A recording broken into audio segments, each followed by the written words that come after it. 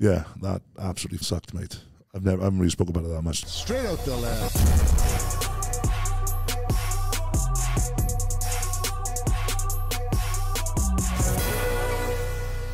Today, I get to speak with a humble giant, a man who is on the chase to become one of the world's strongest to ever do it.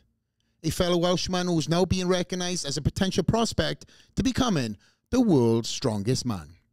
We have a lot in common and a lot in connection with our upbringing in Wales, competitive rugby, boxing, and athleticism.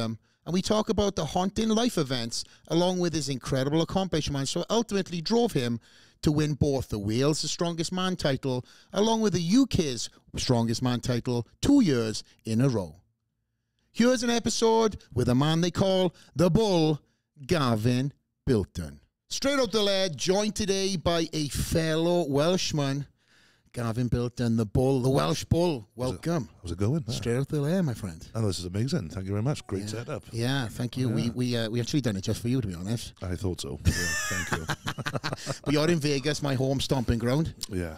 Um, you're on a, a little vacation with the missus, right? Yeah, come across seven days. Um, just have a little break. Nice. We've been here twice before, so it's the third time. Once for the honeymoon. That's the only thing I picked at the wedding as well, mine. So, um, yeah, then once again, just you know, as a holiday, we like this place. So, Yeah. Well, Vegas has got um, Yeah. you know great connection to. I mean, this the you know the the land of sports here. We've got Yeah. you know it's H- HQ for UFC, boxing, and potentially in the future maybe a strongman event. well, someone mentioned that the other day, and uh, went for some food in one of the hotels. I actually talked to the wife about it. I said, "Why did they? Why didn't someone bring someone out here? I know. These people would love it. The people in Vegas would absolutely love it because it's." You've watched the Strongman show. You've been to the World's Strongest Man. Uh, it is intense. Yeah. Yeah, I just think why not? And that, someone would snap it up if you did it. Yeah, yeah. Well, the weather, the tourism, I think everything has got such an appeal to Vegas. Obviously, like you said, you've been here before um, on your honeymoon, and now you're here on, on a vacation. You said this first time in, in four years since since you've been and taken any vacation because of all the Yeah. everything that's gone on, right? Yeah, well, I think everyone had their ass kicked when the virus landed.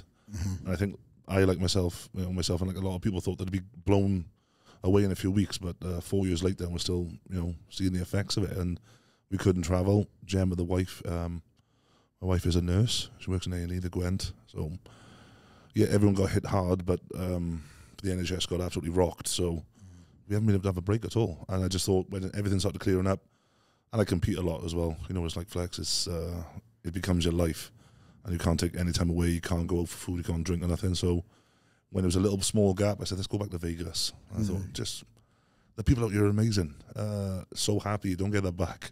Wales are lovely, and the little village I live in is great. But everyone's so happy, and I just love that positivity. That's how I try and you know run my life. Is just be positive, and everywhere you just go with this just happy people. So. And the weather's not too bad either. The weather is great. Obviously, I, I've made that move myself. You know, not to you know twist the arm, but there's you know a little Welsh Welsh piece of home here in Las Vegas for you when you're ready to make that jump, mate. But nonetheless, Yeah. you know, I think that you um, are in a, a, a great position right now. Obviously, I, I want to get into the nitty gritty, and for everybody who is thinking, who the hell? Do you have on the couch flex? I have a lot of different people here, and Yeah. I love bringing people on especially now with the season two, that have very unique stories and have, have truly, you know, conquered, conquered or conquering their sport, or X fill in the gaps, right? And you're one of these guys. I would say. Um, well, we've seen each other. If I met each other first time in, in Myrtle Beach, the, the world's strongest yeah, man. Um, I was blown away by the, the sheer size of you. what are you six six six? What are you Six six, but I'm the shortest of three brothers, mind. really? There's, I have two brothers who are two uh, taller than me, and my sister's like six foot four as well. I was going to get into the family stuff, Yeah, but yeah. but so wait, you're this. So you're the little bro. Yeah, well, I'm not little no more, but I'm the. yeah, I got Stephen and Michael are both taller than me. Yeah, Yeah. So so um, is anybody else interested in a strongman in your family, or you're the the black sheep? just I'm the only one, mate. Yeah, Yeah, They, they love it. They support me. My father used to watch like Geoff Capes, Yeah. um, and obviously Gary Taylor. You know, likes of him, Bill Kazmaier. But I'm the only one who does it. Um, yeah. What are you weighing right now in pounds for the viewers, for the American viewers? I know in stones, but Yeah, they have to mess it up. What is they? it? Um, just shy of 400. I'm about three 390 something. Three ninety. I'm sure that's right. I'm 170 odd kilograms, So that's probably what just shy of twenty eight stone. 28 stone. Yeah, yeah. Yeah, I think it's like hundred and mid 170s in Yeah, it's got to be somewhere around there. I think. See, we yeah. got to tick all the boxes. UK gets the stones. Yeah, yeah. Europe get the kilos, and the US now can get the pounds. So, Yeah. so you said 400 pounds. yeah, four hundred pounds. Just yeah, give or take. I'm, I'm not over that, but Yeah. um, I used to be a lot heavier, man. I was going to say, you. This, I view this as a slim version for you.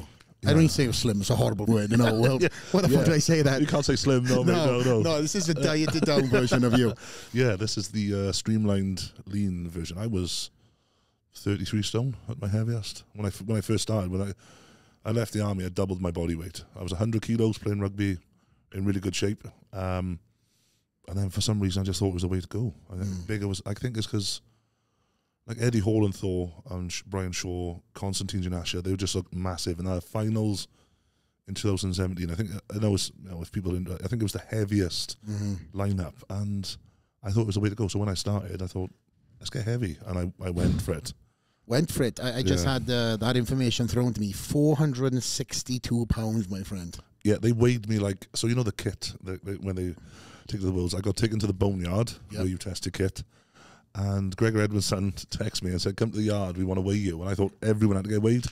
It was just so the kit men could see that I weighed as much as I said I would, and they put me on like Come the on. scales, like a prize bowl, and it was four hundred and sixty something pounds. Yeah, yeah, I was, I was just very, very unhealthy, mate. But I thought it was the way to go because I got, I was Yeah. getting, I've never been that strong, but I'm stronger now, and I'm like six stone, five stone, like that, and yeah, just it's not a good way to be, mate. So y- y- we can go in so many different different directions. You you've mentioned military, you mentioned rugby, you mentioned you know health being that big. So since this is kind of the topic, and we're coming in hot from the top, your biggest, you said that wasn't beneficial for strongman. No, mate. This the sport has evolved so much, and I think I started at the end of like the juggernauts. Yeah, there's still some big guys around like myself, but it's it's not good to be that sport, mate. It's it, you can't function properly. Statically, I was okay, but as soon as you asked me to move around, I couldn't do. it. I always thought being in the army for so long, playing rugby for so long, boxing for a bit. I always thought, oh, I'll keep that fitness level. It wasn't the case, mate. It was like as if I had bubblegum stuck to my shoes. Like it couldn't move. Um, and I was like, oh, never mind. I'll just, I'll just make up the points on another event. But then I was gassed. I didn't have, I was strong, but I couldn't put the power down. Um, and it took me, it, it took something big to happen uh, before I, I had to back off. Otherwise, it could have been a lot worse. But I couldn't, I couldn't function, mate. I was not a good athlete at all, in in any walk of life. So like struggling to walk upstairs and shit like that, mate. It was bad. So what was the big thing that changed your, your trajectory on, on on this change? I think most most people know now. I had a heart attack. Yeah, myocardial infarction. So it's where the heart works way too hard, um, and I just give out. I was up in Glasgow doing a show. This was two years ago. Um, I thought I'd ripped my pec. There was so much pain. I thought I tore my pec off. And my very good friend Simon Hammett, who I run the gym with, was next to me. Said I looked green. Uh, you run off, go to the doctor, and then um, I was blue lighted to the Golden Jubilee Hospital. and I spent five days in intensive care. They thought it was a mistake. The nurse came to speak to me because I was 32 at the time. She thought they made a mistake. She thought, you know, they've missed out 40 years. Like she's like, you're the youngest patient I've ever worked on on this ward, Wow. and I was the youngest by about 40 years. And she was like, "It's a joke." She was straight to the point, and so was the doctor. And he, and he said, "Your career's over." He said, uh, "You're done." Because they thought they were going to have to stent. So I went down the following day, angiogram with a cut the artery, and pushed the tube in. No stent needed, so I was okay. It took me 10 months to recover. Wow. But I, cou- I couldn't compete, couldn't do nothing. And then I went through every single test you can think of. We, we had to go private, so Mhm. You know, just to, not speed up the progress, but yeah, I did it done fast to get competing again.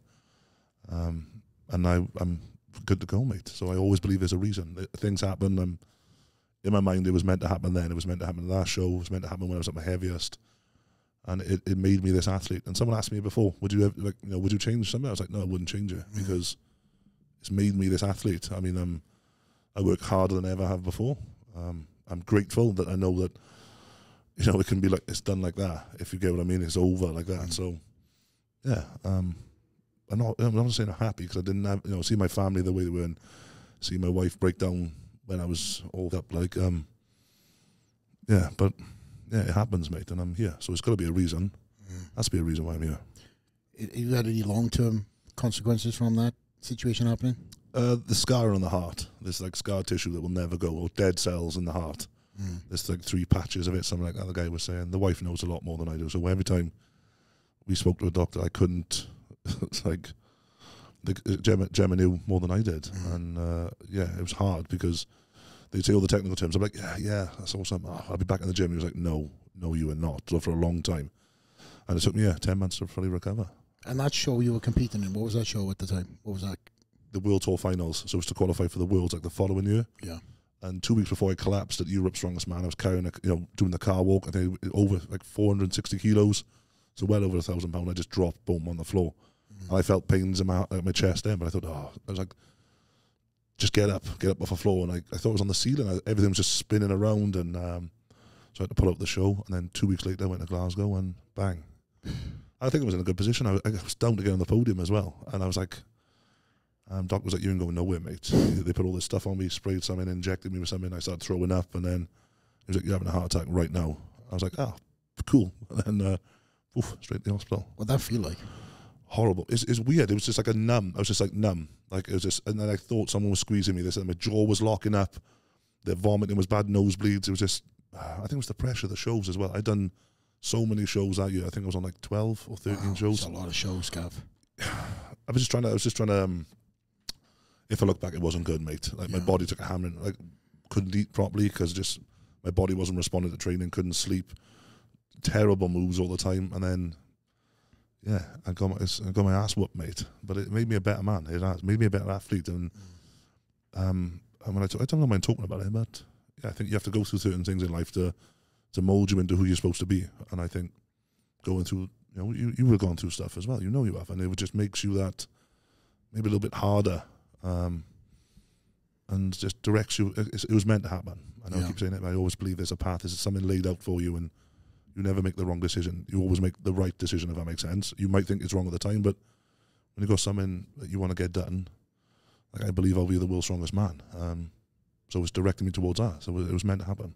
So with that, with that happening, the brakes were hit. You're in hospital. You've gone from being, you know, a mountain of a man strength to now being bedridden, can't do this. Doctor Yeah. being saying you can't get back to the gym. Take take us, the viewers, back to to what it was like to get back when you got cleared for the first time. I was it, the road was hard, man. Like I didn't know when I got told. Two different doctors told me as well, mind I couldn't do it. So the surgeon said you're lucky we didn't need to do surgery. And there was a doctor down in Swansea, Sancta Maria, said you're done. He was like he didn't really understand the sport himself. Yeah, that's a problem. Yeah, just being a larger athlete, things are going to be larger. Um, and he said you're done. So I was like, oh, just join the army up. So I spoke to a different doctor. He was like, you'll never be able to join up again, mate. He was like, It's because of the damage to your heart. So I was like, um, and for the first eight weeks, I couldn't do anything, and I mean anything. Couldn't carry anything less more than five kilos in case it burst the stitch in Oh, there and shit. strained the heart.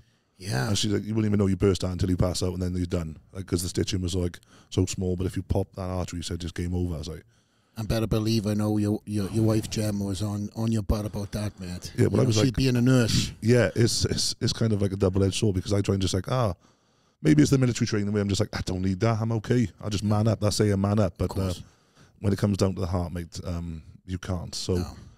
for those, those 10 months was hard. But then when I was back in the gym and I was given the all clear, it was like, um, yeah, ball to a red flag. I was balls to the wall, hitting it hard. And yeah, bust my ass to get back there. And I think, uh, and then my first, I missed two Britain's Strongest Men due to the, you know, I call it an injury. Um, and then when I hit my first Britain's Strongest Man, I came second. And that was the beginning of this year. Yeah.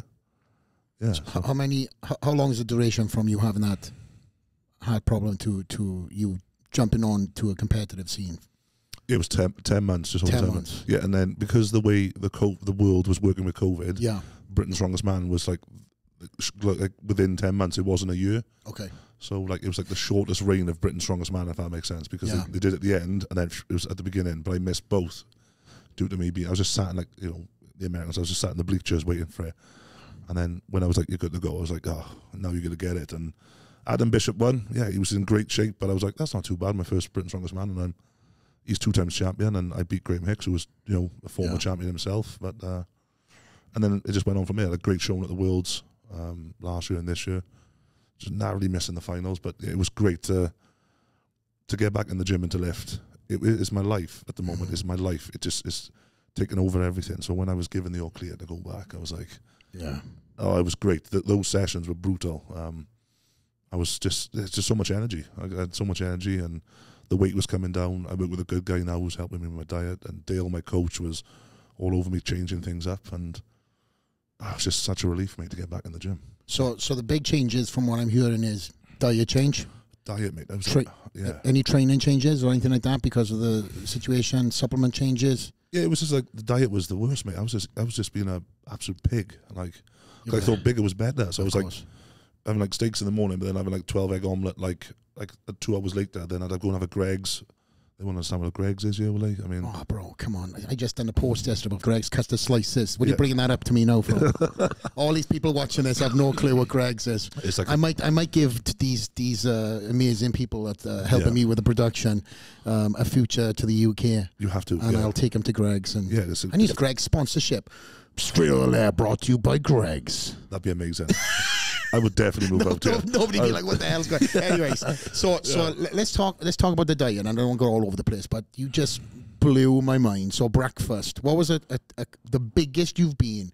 What was a breakfast? And what was the consistent like uh, uh, your day in, in, in, in a big day of eating? So yeah, when I was at my heaviest, Yeah. I'd get up and it would be I'd, this is genuine minimum twelve egg omelette, and then like four pieces of toast, loads of cheese. I cook it with butter, um, put some like you know onions in, some peppers, and then this is. It would be like I go to Spoons, Wetherspoons, because when I lived in Caerphilly, there was one at the top of the road. I just walk up there and have the large breakfast. So that's it stopped serving at eleven o'clock, so I'd have that about nine. Wait till eleven, go and have that, and this is this is genuine. My wife will. I would go outside and throw up. Yeah, I just throw up. I'd find a little corner. She, she was there. She'll tell you. I'm like, I'll go and have food in like two. And I have a Greggs then. I get Greggs on the way down. Walk back around to my house and I'd eat that then about one o'clock. Try and train. And I'm like, oh, why am I so bloated? And I'd lift this and I'd just be one rep max and everything. And then lunch would be a whole pack of mints, like 500 grams, half a kilo, and then like a pack of rice, and then like bolognese sauce, and I'd be like one meal huge, and then I'd have like a pasta dish before I go to bed. But there'd be like snacks in between. I'd have protein Okay. bars, protein shakes, bits of fruit. And I'm like, oh, I'm eating fruit, it's okay. And then Glammore's is like a bakery in Caerphilly. I'd have like things like these massive Subway rolls they do there. It's just it's just a mess, mate. So, how many calories do you think you're eating a day oh, I would say at your biggest? ten thousand Easy. plus, e- e- like minimum ten thousand, and anything up is I won't say a bonus, but I was just eating and eating and eating. I had double my body weight in a year. I would put on like almost just shy of hundred kilos in a year.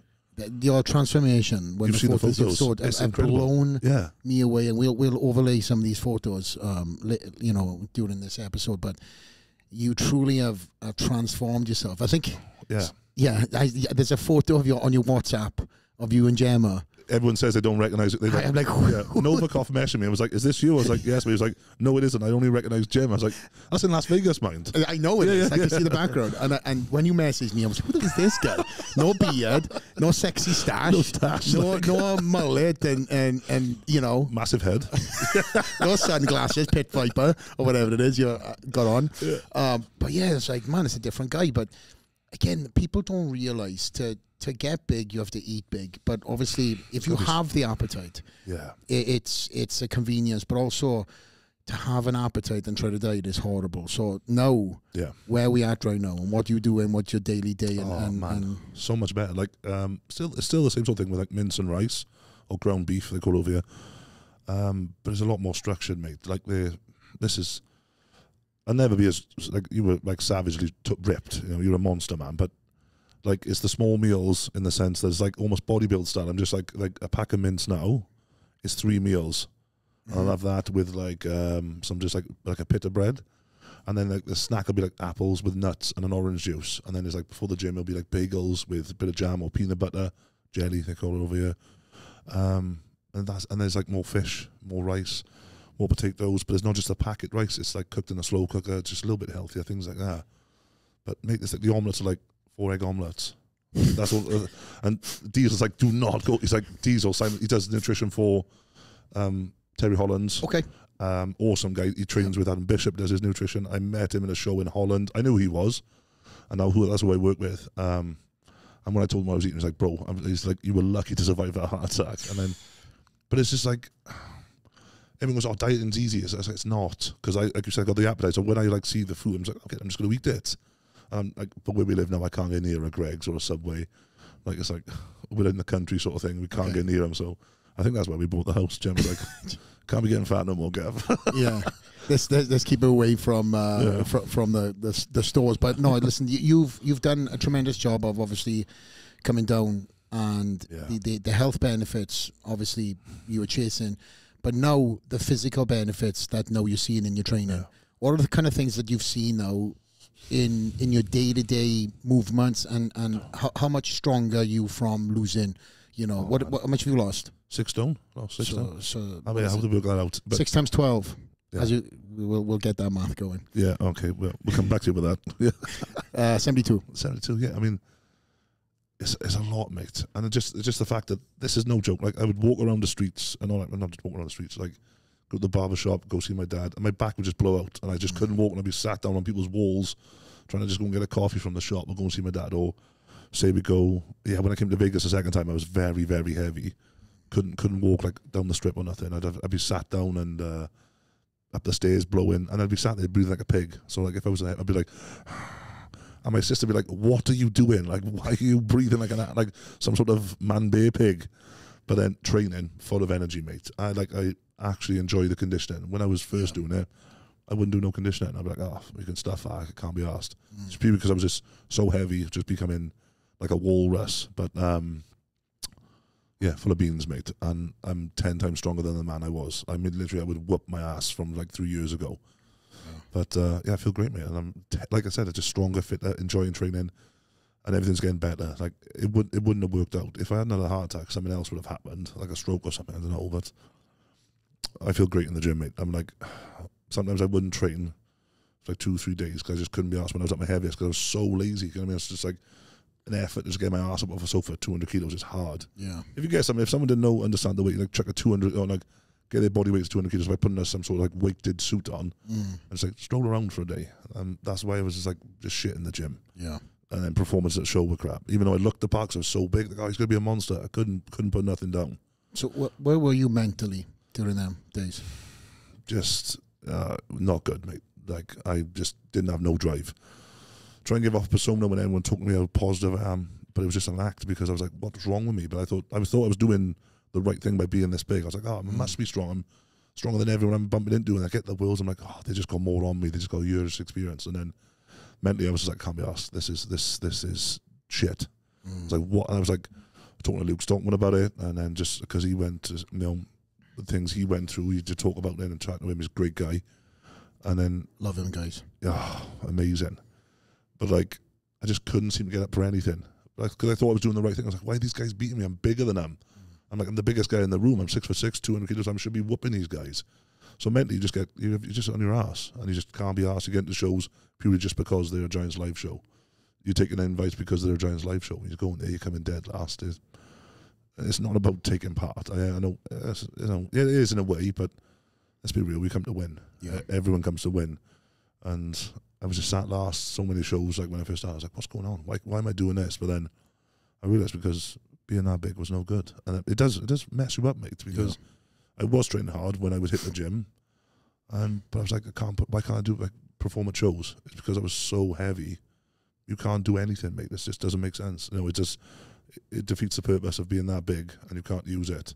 So now I'm like that. I know I'm I'm pretty good. I like you know don't don't like to blow my own trumpet or anything like that, but I'm, I'm not too bad right now. Now I've dropped the weight, and my mindset now is razor sharp. I, I believe I will be the world's strongest man. The year I make the finals, I get pumped talking about it. I will I will hit the final, and, and I love them guys. Yeah, yeah, we're all we're all friendly. Imagine backstage, you're all like sort of patty. You get on the stage, a different person, mate. So Oh, I think everybody knows how I was.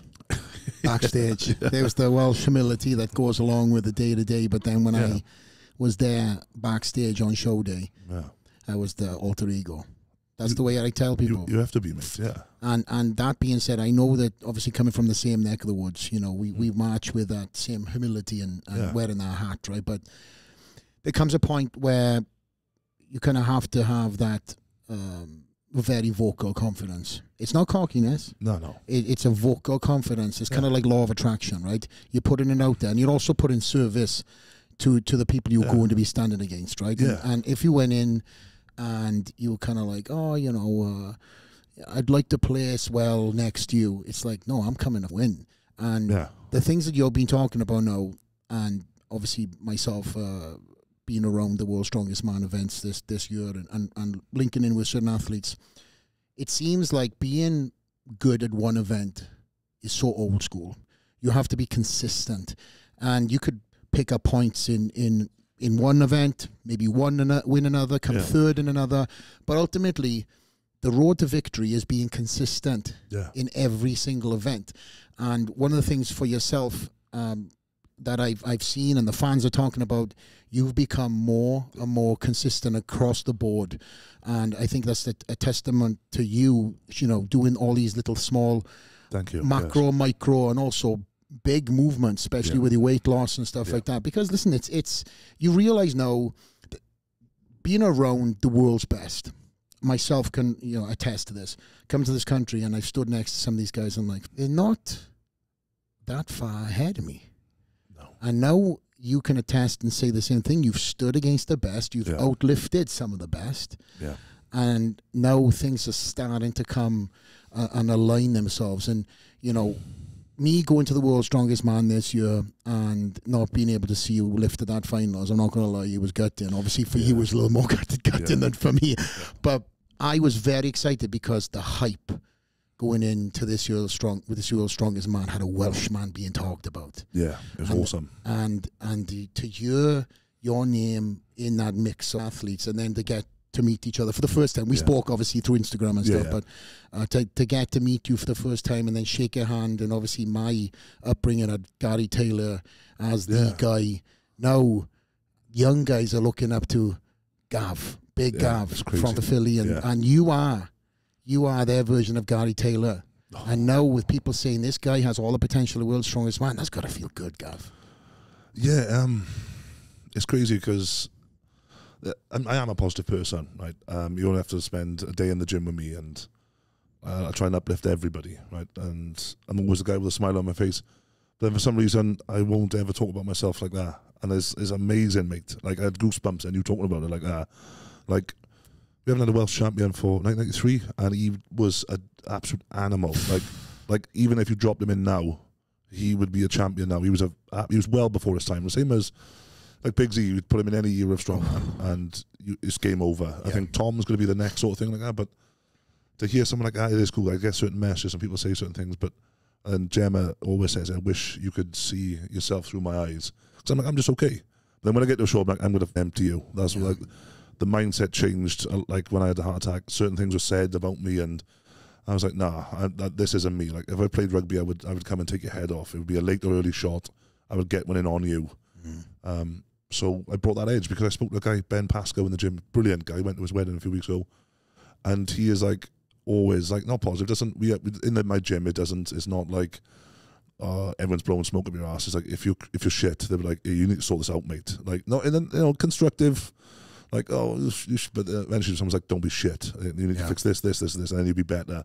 It's like constructive. It's not just said, "Don't be shit." It's the way we lift it, the way we say it. But Ben always says, me, it's like you were you were one of the best in the world." And I'm like, oh, "I'm okay, mate." And I will I will lift something and go, "Is that okay?" Like I pressed like Yeah. a 190 kilo log in the gym the other day. I was like, "Is that okay?" I'm like, "Yeah." And then I took like two boys to move it off the mats to put their log on. I was like, "That's not too bad." And, I and then to hear you say that. Um, it's hard. Was sometimes I just just step away and see it, if that makes sense. Like see what I'm doing because I'm just like I'm just a guy from Caerphilly lifting weights because I love doing it. Mm-hmm. I support my family with it. I, you know, and um, I, I will you know, do it for my family. I do it, and I also, yeah, it's cool to leave a bit of a legacy. You know That's what I mean? I mean to be spoken about. Like we're still talking about Gary Taylor. I mean, he's you know he's the world. He was the world. strong- And if you look at his his resume, he won everything, absolutely everything. He was a Incredible. monster. Um, and only his record was broken. The you know the behind the neck press broken two years ago. No one got, no one got close to Yeah, it. that's right. That's right. Novikov did shatter it with a 246, mind, but that's just the evolution of the sport. Gary Taylor could have got more. If you see that press, Yeah. that Flintstone press, like 212 is like warm up weight for him. But if I can get compared to him at this this time right now, that's pretty cool. I mean, Yeah. but I still got plenty of years left, and I keep saying it because it's just the way I do. I write it every day. I go in the, in my gym, wipe it off my whiteboard, and I write, "I will become the world's strongest man." I do that every single time I train. Mm. I put my little quote of the week on there as well. But yeah, going back to what you said, that's pretty cool to be like. ah, I just, uh, well, I don't know how it feels. I just, I think when I'm done and dusted, then I'll be like, I was, I was actually all right. But right now, I'm just like, I think it's keeping yourself, trying to keep myself just low key Yeah. You know what I mean? Like in my mindset, I'm just like I'm doing okay. Because some people get like washed up in their own bullshit sometimes. You you would have seen it yourself with certain people, Many times. And they just blow up, and then they're like, ah, "I'm the world's greatest." And all of a sudden, it's like, "Poof, no, you're done, mate." So I'm just like, I'm building, and when I finally lift that trophy, I'll be like, "Yeah, I am the world's best," and everything they said about me was true. But I'm just like, I don't ever let things get to my head, and But I you- wouldn't. But you believe it though, right? One hundred percent, mate. The year like it, like it wasn't, what wasn't going to happen last year or this Mm. this year, right? With what happened at the Worlds, so I just reset, and I was like, yeah, I was devastated. You know, in my head, I should have beaten them. In the stone off. I should have. I don't know what went wrong, but then I was like, no, no, it was meant to happen. Like, um, If there's anybody to lose to, it's nice to lose to a Stoltman brother, right? that's exactly what I said. I was like so upset in the tent, and I was like, Yeah. you know. Um, but to lose to a, a Stoltman is not too bad, mate. They're, No. they're the world's best, mate. Uh, at the moment, I mean, I, I'll throw down with any of them. I don't care. Like I, I say, oh, they're great, but I'm not too bad. I mean, Do you know what I'm hearing? I don't know if the viewers are listening to this back home, but I'm hearing a guy who wants to be confident, but his humbleness is un, is cutting the head of the cutting the head of the sentence because you've already told me you believe in yourself. You already told me that you will be the world's strongest man. Yeah. But then when it comes down to putting it into a different constructed sentences, you throw the words "okay" in, and you're not okay. And that's that's the thing Yeah. that it's a change. And and honestly, because coming from a guy from the same part of the world as you, Yeah. Is changing certain verbiage that Yeah, gets you yeah, thinking daily, just like writing on the board. You saying, I will become the world's strongest man. So now you got to start changing the words that come out of your mouth. You write, you're going to be the world's strongest man. You think that you're going to become the world's strongest man. Now you have to verbally start putting it in construction know. sentences. I, I don't know what it is, man. I just I, I know what it is, right? It's when I was playing rugby. And this is a but that's not a random story. This is what we're after. There was always an excuse that the the, the coaches wouldn't pick me, and then I was like, I, I, in my head, I, I'm a good player, and I was like, I, I fucking carry tackle, I do my job well as a second row, and I played I played some good rugby, I played some great rugby, and then the coaches would drop me, so all week I train, then I get dropped. I think this was when the army was the worst. Yeah, um, I won't mention his name. as the coach? Um, oh, Fucking name it. Andy Sanger. Yeah, uh, he was a never got on with him. So in my head, I was like, I'm a good player. But then every time I'd be like, No, you're not. I get Yeah. knocked. I'd be on the bench or dropped. So I think I'm afraid to say it in case I let myself down. I think that's what it is. I just because I was, I'm a, I, I would go in that change room on the on a Monday morning in, in Aldershot. That's where we used to do our training. I'm like, I'm going to be on that. I'm going to start against Cambridge, So the army. We play some amazing teams. Like Oxford and Cambridge, they're outstanding side. If you ever watch that varsity game, it's Incredible. Anything, anything in, in rowing, anything. Uh, they yeah they take Yeah. they take it in their stride. They're amazing. So I was like, I'm going to play on Wednesday night, and then I get dropped. I train, I'd smash the hell out of everyone on Monday. Fitness was good because I was a lot like that. I was a I was a good soldier and I was a good rugby player. And then I was like, I'm a good player. They was like, No, you're not. You're not playing. I was like, I was just stuttering. I was like, Why am I not playing? Oh, what is this, Gav? Is this this this this? So I think that What was it, if you don't mind asking? I just didn't get on with the coach. Genuinely, That was it. and I would always question shit. So you'd be like, "Oh, Gav, why did you make that tackle?" I'd be like, "What about the three before though?" Like I missed a tackle against Worcester, right? This is genuine. But I smoked two players prior to him, rolled out to the tackle, and then I missed the tackle on the scrum half. He went, he didn't hit the scrum half, Gav. I was like, two tackles before my mate, and he just went back and went, "Ah, they were they weren't that good though." I was like, Yeah. so it was always I just questioned shit. I wouldn't keep my mouth shut in analysis. And my mate Matty Dwyer, a very good friend of mine, was like, "Gav, just take it on the chin." I'm like, "No," because I'm getting dropped for people who I know I shouldn't be getting dropped for. And like they bring players in, I'm like, "This sucks." And then I went to Bandom to play against the Russian national team, which would have been a capped game. And I got I, I got put on the bench, and I got I didn't get on. So um, that wasn't too good, mate. And then we had our final words, and that's when I stopped playing. So it pissed you off to stop. Yeah, and then that's why I think it is. That's why I won't say I'm good in my head because I think that some people say no, you're not. I, like, but there's no coach. I am. Dale's my coach. Mm-hmm. And if I do mess up, he's like, no, no. What we just do is go back and do this. Like he wasn't happy. I missed a thousand pounds. I did a show two weeks prior, which I shouldn't have done. Um, no, three weeks prior, which I shouldn't have done. But um, yeah, but he's not like your shit. He's like you're, you're world class, but and I'm like, ah, I'm all right. But But I just I know. But then when I train, I train like I am. One, I, I say it now. I am one of the world's best. I'm like, you know, I'm, I'm one of the strongest men on this earth. give me two days, you Gav. You'd have a different mindset, mate. I know that we need to come back out at the end of the year. I think. Yeah. Um, I just, but I think it's that because that coach kept saying I wasn't any good. So they kept like beating me, and it's like, oh, am I good? So when I do something in the strongman, I'm like, am I okay? Does that look like I came second the other week in that Cardiff show? I literally said to the gem, the wife, I was like, "Was that- was that okay? And she's like, she was crying. She was like, yeah, it was amazing. Um, second in Britain's the first thing I asked. I was like, was that performance all right? And then I picked it apart the day after. I was like, I should have done this. I should have done that. And Adam Bishop's like two times, you know, you know, champion, and he's world's strongest man finalist. Great deadlifter too. Incredible deadlift. Phenomenal, mate. Like that, Strong as hell. for his size, he shouldn't be. Well, he actually he is huge. He's like one fifty odd, so he is massive. It's just because his height gets lost and his weight gets lost because he's surrounded by bigger guys. But Yeah. Like he ran on the pitch to give the water to the boys at the Harlequins and dwarfed all the forwards. He was the, he's a strength and conditioning guy or something. Yeah, he worked. For, he worked for him for years. Yeah, yeah, yeah, yeah. And he'd run on the pitch, and everyone was like, "Who, who is that?" just bring him on, sign yeah, him. s- get that guy playing. But he could have played for Wales, mate. He had um, like the Welsh connections. He could have played for Wales, Yeah. but he chose wrong man. Great sport. Hey, listen, I, I had my I had my rugby days too. Yeah, yeah, yeah. So talking about rugby days um, and and military days, you know, obviously very similar upbringing. In South Wales for everybody who are, who who's listening doesn't know where Wales is. Shame, shame. we are that little country next to England, the one that uh, you know, the big country that none of us can stand. But anyway, that's a subject for another story. Um, but when you got two Welsh guys in the room, we can talk as much shit as possible, especially when you got a guy that size. Can hide. But you were probably when I played rugby before we started talking about the military. Um, you were probably that guy that I would target on on the field because I was the smallest Yeah, you definitely. but yeah, the, the, the biggest mouth, the biggest point to prove. And uh, if I seen somebody of your stature coming on, you know, you're a big guy. We got to get you out of the game fast as we can. yeah, yeah. So you would be a target in my eyes. I don't know if I'd be able to jump up and punch you, but I've, I've, I've, I've hit a few guys in my time from flying Superman. Given as good as I've got, got as good as I've given too. It's, it's the only way forward, mate. Yeah, Yeah. done, but yeah. But do you miss? Do you miss the rugby? Oh, mate. Yeah, Yeah. it's it's in your blood because we're from Wales. It's our national sport. And when you see the boys run out in red, I still sit there and think when I watch Wales play, I'm like, oh no, like how far I could have really gone. Because when I was up with Bridgend, I was, oh, mate, I'll say, I don't know why I keep doing that. I was good. Mm. I was in great shape. I sent you, you know, we've seen the photo from Newport. I was yeah. in about 120, like lean, and I was not, I'm not, I'm not like, like rugby lean, like this, like dense. Probably like two two twenties, maybe. Yeah. Two forty. I don't know. What's two? What's two? One twenty. He's speaking all this raw lingo of you. I can't even speak English now because I'm around this guy. But you you were playing second row, right? yeah, second row, yeah. So for everybody who's who's watching and, and don't understand rugby, so fast and best analogy is you guys seen the scrum when they come together. Is the front three, and then there's two people behind them front three that push. You got two people on the end. You're the collar flankers. You got the number eight.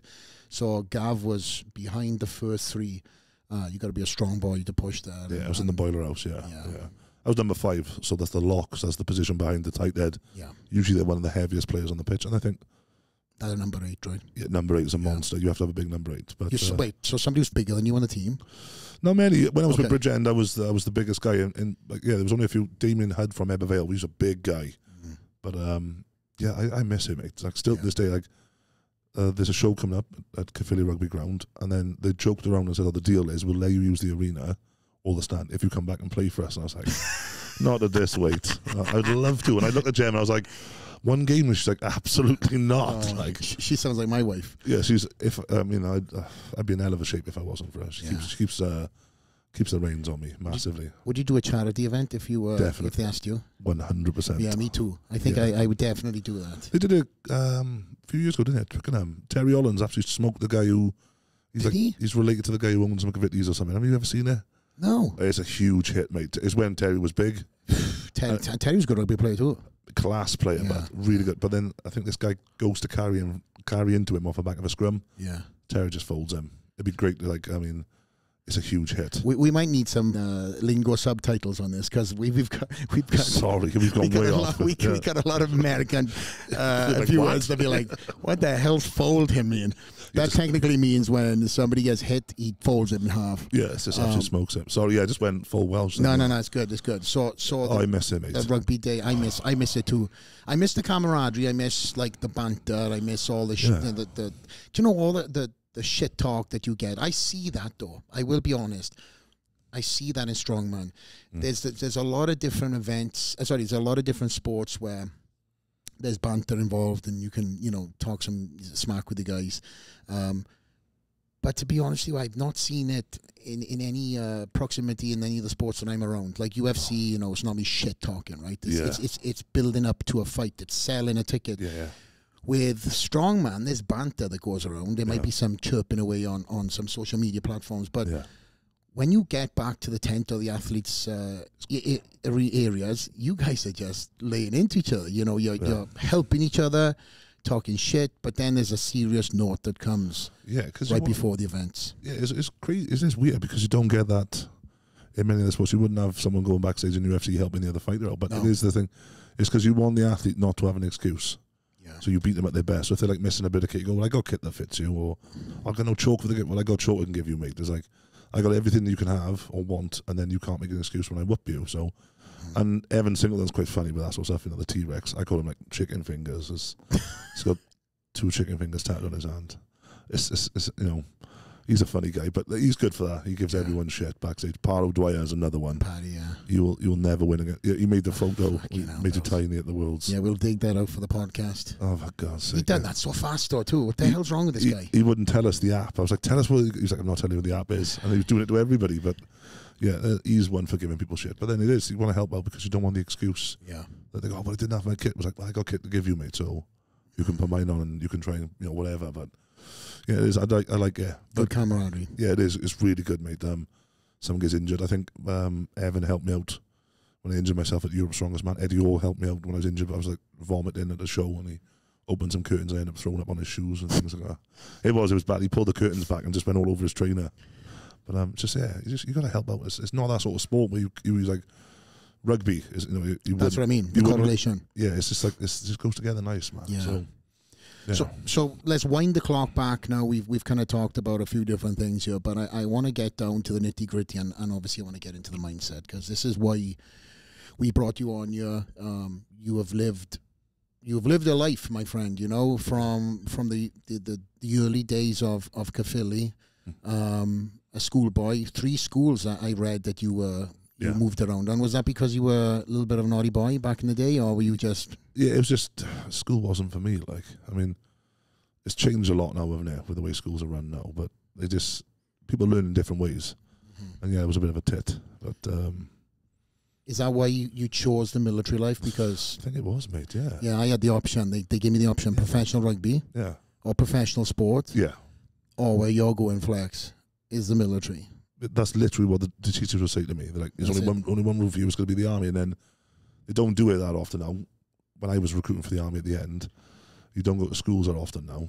It's, Really? it's crazy, mate. Yeah, maybe on an evening, like an officer or a sergeant will go and sit down with this little thing. But like, I think the Marines or the Paras came to my school, and I just went, "Oh, this is awesome." And then I left school when you do.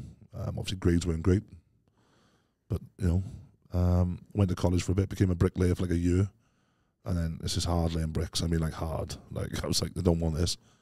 This is coming from the guy who was lifting nearly a thousand pounds in the gym, by the way. That's it. I, I was laughing about it the other day. I literally spoke with us in the, in, in the gym the other day about how I was a bricklayer and my back would hurt. And then my mate Simon was like, "Yeah, but look where you're deadlifting." I was like, yeah, "Yeah." I was like, "Yeah," but yeah, did did bricklaying. Didn't sort. You know, I really enjoyed it, but oh, it's graft. Like up at five, bed at five, up at five. And I was like, and when It's you're like when you're um, an apprentice, the money isn't great, and money is good. You know, when you're young, you want as much as you can. So. and you get like- the shit end of the stick too when you're an apprentice. yeah, mate. Like, it was a lot of work for not much money at the end of the week, and I was like, ah, great. But then my brother got back from Bosnia because he was in the Welsh Guards before me. Um, but the weird thing, the, the first choice was Marines. I went to the Cardiff recruiting office that is just opposite the train station. I want to go Marines, but he was like, and there was a Welsh Guards. Recruit. You're not supposed to do it.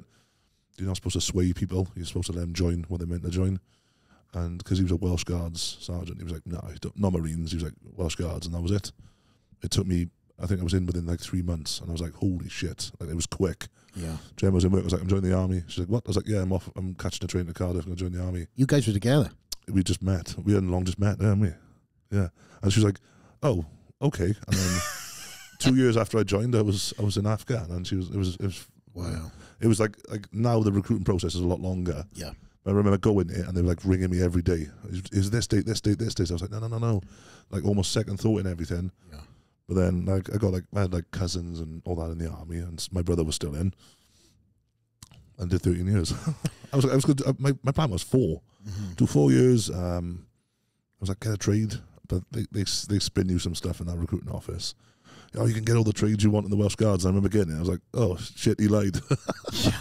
I know because I was going to go into it. yeah, I I- know it's their job, but I was recruiting, and you can't you can't do that now. Like you get in trouble if you do things like that. Like if they want to go navy, you let them go navy. I suppose. Like I remember getting off in Catterick. I was like, right, where's all the G? I, I was going like I wanted like engineers and things like that, and marines. I was like, no marines, you can do everything. That I can do this and this and this. And then I was like, no, you've lied. And yeah, I did, I did enjoy it because I met some great blokes. Like I mean, Yeah. um, some friends who I still hang around with now. Um, so it was, not, it was a great job, probably one of the best jobs besides what I'm doing now. It, I, I loved every like. I always say the good times outweigh the bad times, and Mhm. everyone's going through the same shit as you. So when I was going through some shit, I was like, "Well, that man is as well." So I'm Mhm. alright. Yeah, I loved it. I loved the army. It's 13 years. You've done two two tours, right? Two tours of Afghan. Yeah, Um, and then you also um, served uh, for the Queen's Guard. yeah. The, the Welsh Guards. That's what it Yeah. was. Yeah. So now it, I'm pretty sure it's probably called the King, maybe the King's Guards. Mm-hmm. because yeah, what happened? Yeah. But yeah, the Queen's Guard. So you got the household division. So it's the Scots Guards, uh, Irish Guards, Coldstream Guards, the Grenadier Guards, and then us, the youngest, were the last to be formed. We were formed in 1915, start of the First World War, and that's our first battle on us. And yeah, but yeah, we we're the youngest of the five household divisions. Yeah. So where were you based to do the Queen's? Uh, the, Queen's Uh, so Catterick training. So we Right. did like eight months up there in Catterick. It was a lovely place, Catterick. Never stops raining. I don't know. I don't know how that works. Like, um, and then my first was Aldershot. I was posted there for four years. Did my first tour there. And obviously not you know, went from there, trained, got back, and I think we moved from there to Hounslow. Hounslow, a couple of years there, then from Hounslow to Pirbright, and that was me done. I, I remember getting back from Romania, working with their army up there for like six weeks, and I was like, I can't do this anymore. I did like my first Wales the Strongest Man, came second. I was like, oh, I'm actually quite good at this. I won my first novice, um, uh, and then won my first, you know, come second at the national show. I was like, I'm actually pretty good at this. They were sort of on side, the Welsh Guards, Mhm. if I stayed at that size I was, because yeah, you're two. there was a photo floating around of me with like, I got the little axe in my hand, and then like, yeah, that's amazing if you can stay this size for us. And then I went recruiting, so I was in Cardiff for Mhm. the last two and a half years, and I didn't stay that size. No. You've seen, you've seen it. Yeah. So they didn't see me for like two years. They wouldn't like the Welsh Guards recruiting page wouldn't post anything about me like when we were at shows. And then when I went back for a tunic fit and they were like, so tunic's what Yeah. we wear outside Buckingham Palace. It's what we're famous for, the household guards, the household division.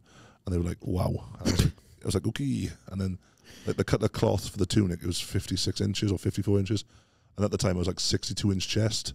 So they cut the fabric. Mhm. I was too wide for it. They couldn't cut the tunic out of it. So um, that's when I started like sort of fall apart for the army, and I had to get out because I wanted to become. I was like, I'll become the world's strongest man. But in them 13 years, I want to go back and, and talk about that chapter. Um, obviously, you've got to see things that, you know, us civvies will never see. You know, you've got a, gone around the world and obviously, yes, uh, you, you, you played and you had a trade whilst you're in the, in the army, but nonetheless, um, you get to you've got to see things again that, that, Yeah. that, do, do they fuel your fire? And, and, and can you tell us any of the stories of what uh, you experienced? Yeah, um, first tour of Afghan, I think, was reported. It was the worst tour since the invasion. Most casualties, most shots fired, most IEDs blown up, most things. Like there's a book written about it called Dead Men Risen by Toby Harnden, and he was out there. Um, he spoke to us, and most of the stuff he said is in the book and is blacked out. It's genuine. If you buy the book, I don't know if you'll be able to get over here. Um, I'll send you a copy, mate. I have a copy of my house. If you if you want to get amongst it, it's a great book, mate. And there's loads of stuff in there that's blacked out, just like you know, like like it's like secret files that boys were saying. They were just like no chance. Um, it definitely fuels me because I realise how lucky I am because there's boys coming off our tour. Uh, it sounds horrible to say that ain't the same anymore, physically and mentally. Um, in my eyes, um, I just accept it, mate. Uh, we went through some shit for seven months.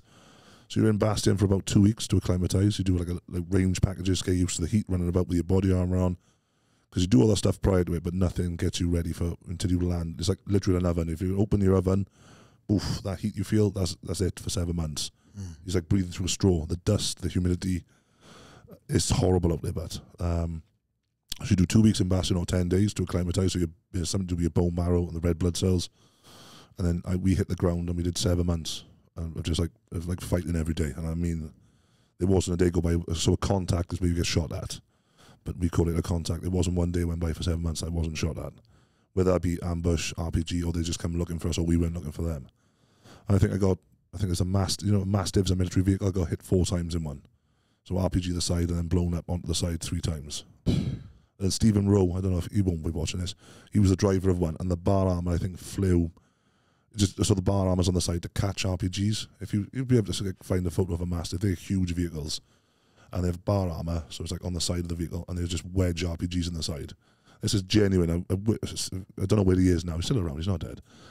And they were, we got back to camp, and there was an RPG stuck in the side of the vehicle. This is genuine just like so we hadn't gone off and it stopped it from connecting like that and then we got back and then it was like and then we got hit a few weeks later I don't know why I'm laughing thing flipped on the side and then a piece of bar armor flew off and we found like 300 meters just wedged into a wall on patrol. About two weeks later I was just like oh there's there's the There bar there's the bar armor off the side of the mastiff. Um, it's crazy out there mate. There's other stories I've never ever I've never spoken about it. This is genuine. That, that little thing with the RPG I, most people know that. The bar armor I tell that joke around, joke around that in the gym, but I've never spoke about what we went through. I, I think maybe it's my way of processing it because yeah, me, mate, it changed me. It did definitely change me. What what you seen on, on them tours, and, and obviously, I'm, I'm sure you you lost some friends too, as as have I. Yep.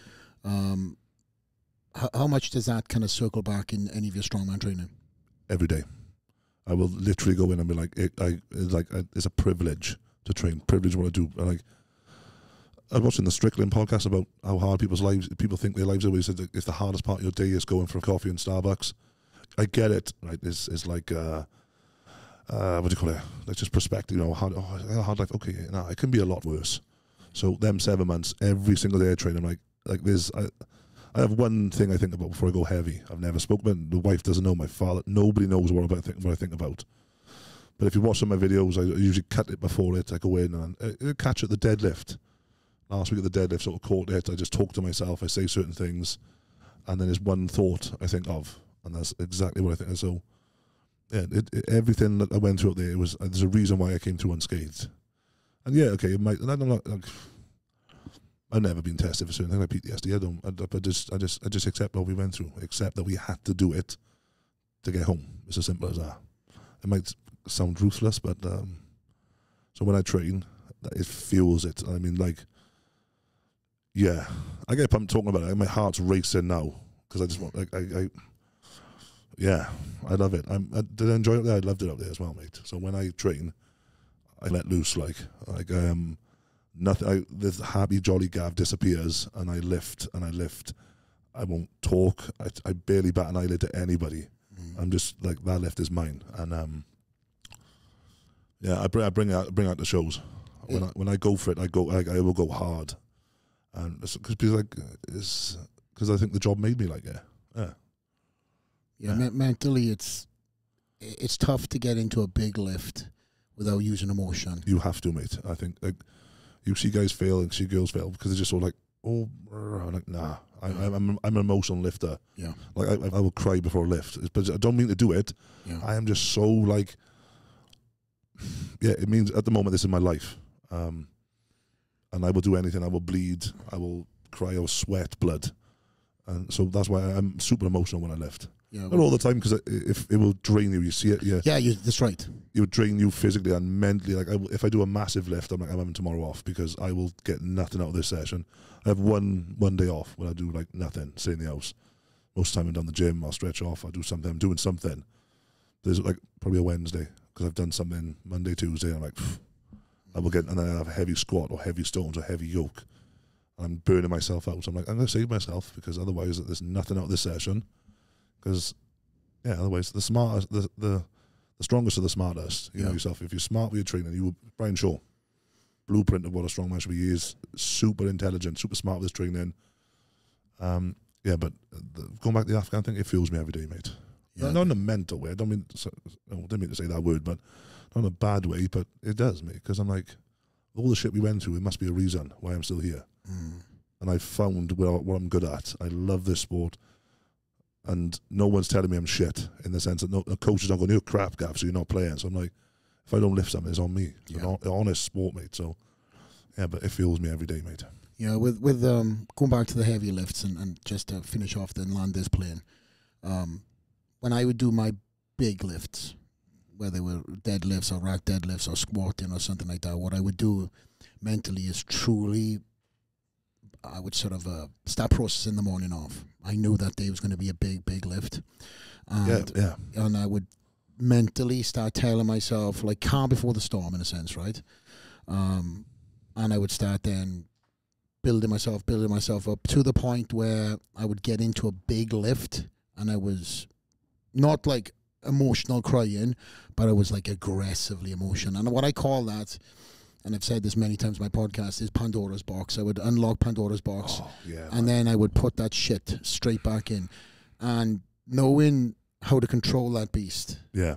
came from time. Obviously, with you serving in the military, you know, there's uh, certain uh, attributes that you learn Mhm. and you get taught the discipline, all the, the things that you know civvies don't see. Yeah. All the, the the small little uh, from the smallest of things, from polishing buttons to polishing your shoes to the uniform to all of the above. Especially when you're doing the you know the the Queen's Queen's Guard Guard. stuff Yeah, yeah, yeah. you've got to be on point. And now transitioning into strongman, that mentality now equates Yeah, into Massively. all these Yeah. small little details, but make the biggest of things. You know, you're talking about weight loss. You're talking about you know cardiovascular endurance.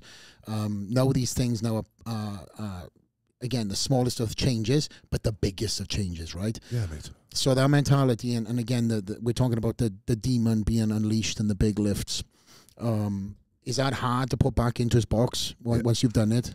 I usually leave a gym, mate. I will Yeah. walk, I will walk up the gym because I'm whether it's gone well. Sometimes you miss. Everyone fails lifts. so, You know, it's it's part of the sport. Everyone. I will leave a gym and just sit outside for ten minutes. I got like a set of power stairs outside my gym, or I'll just sit Yeah. on the floor because I'm.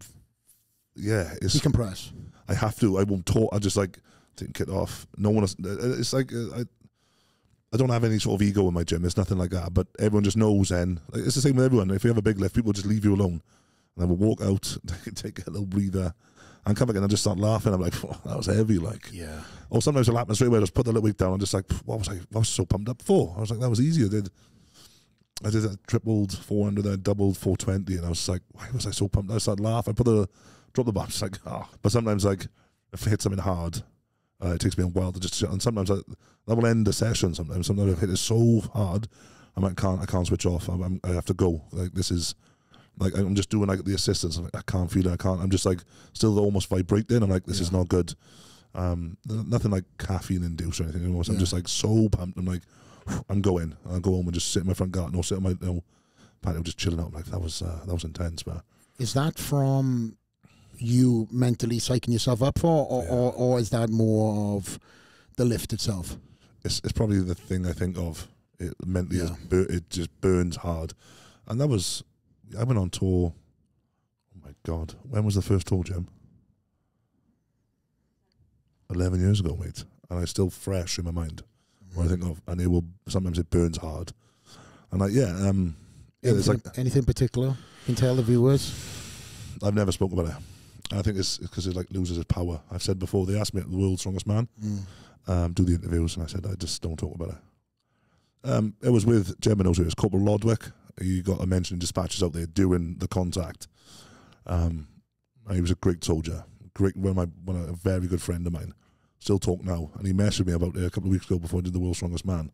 He was like, "Remember that day?" I was like, "I do, mate. Yeah."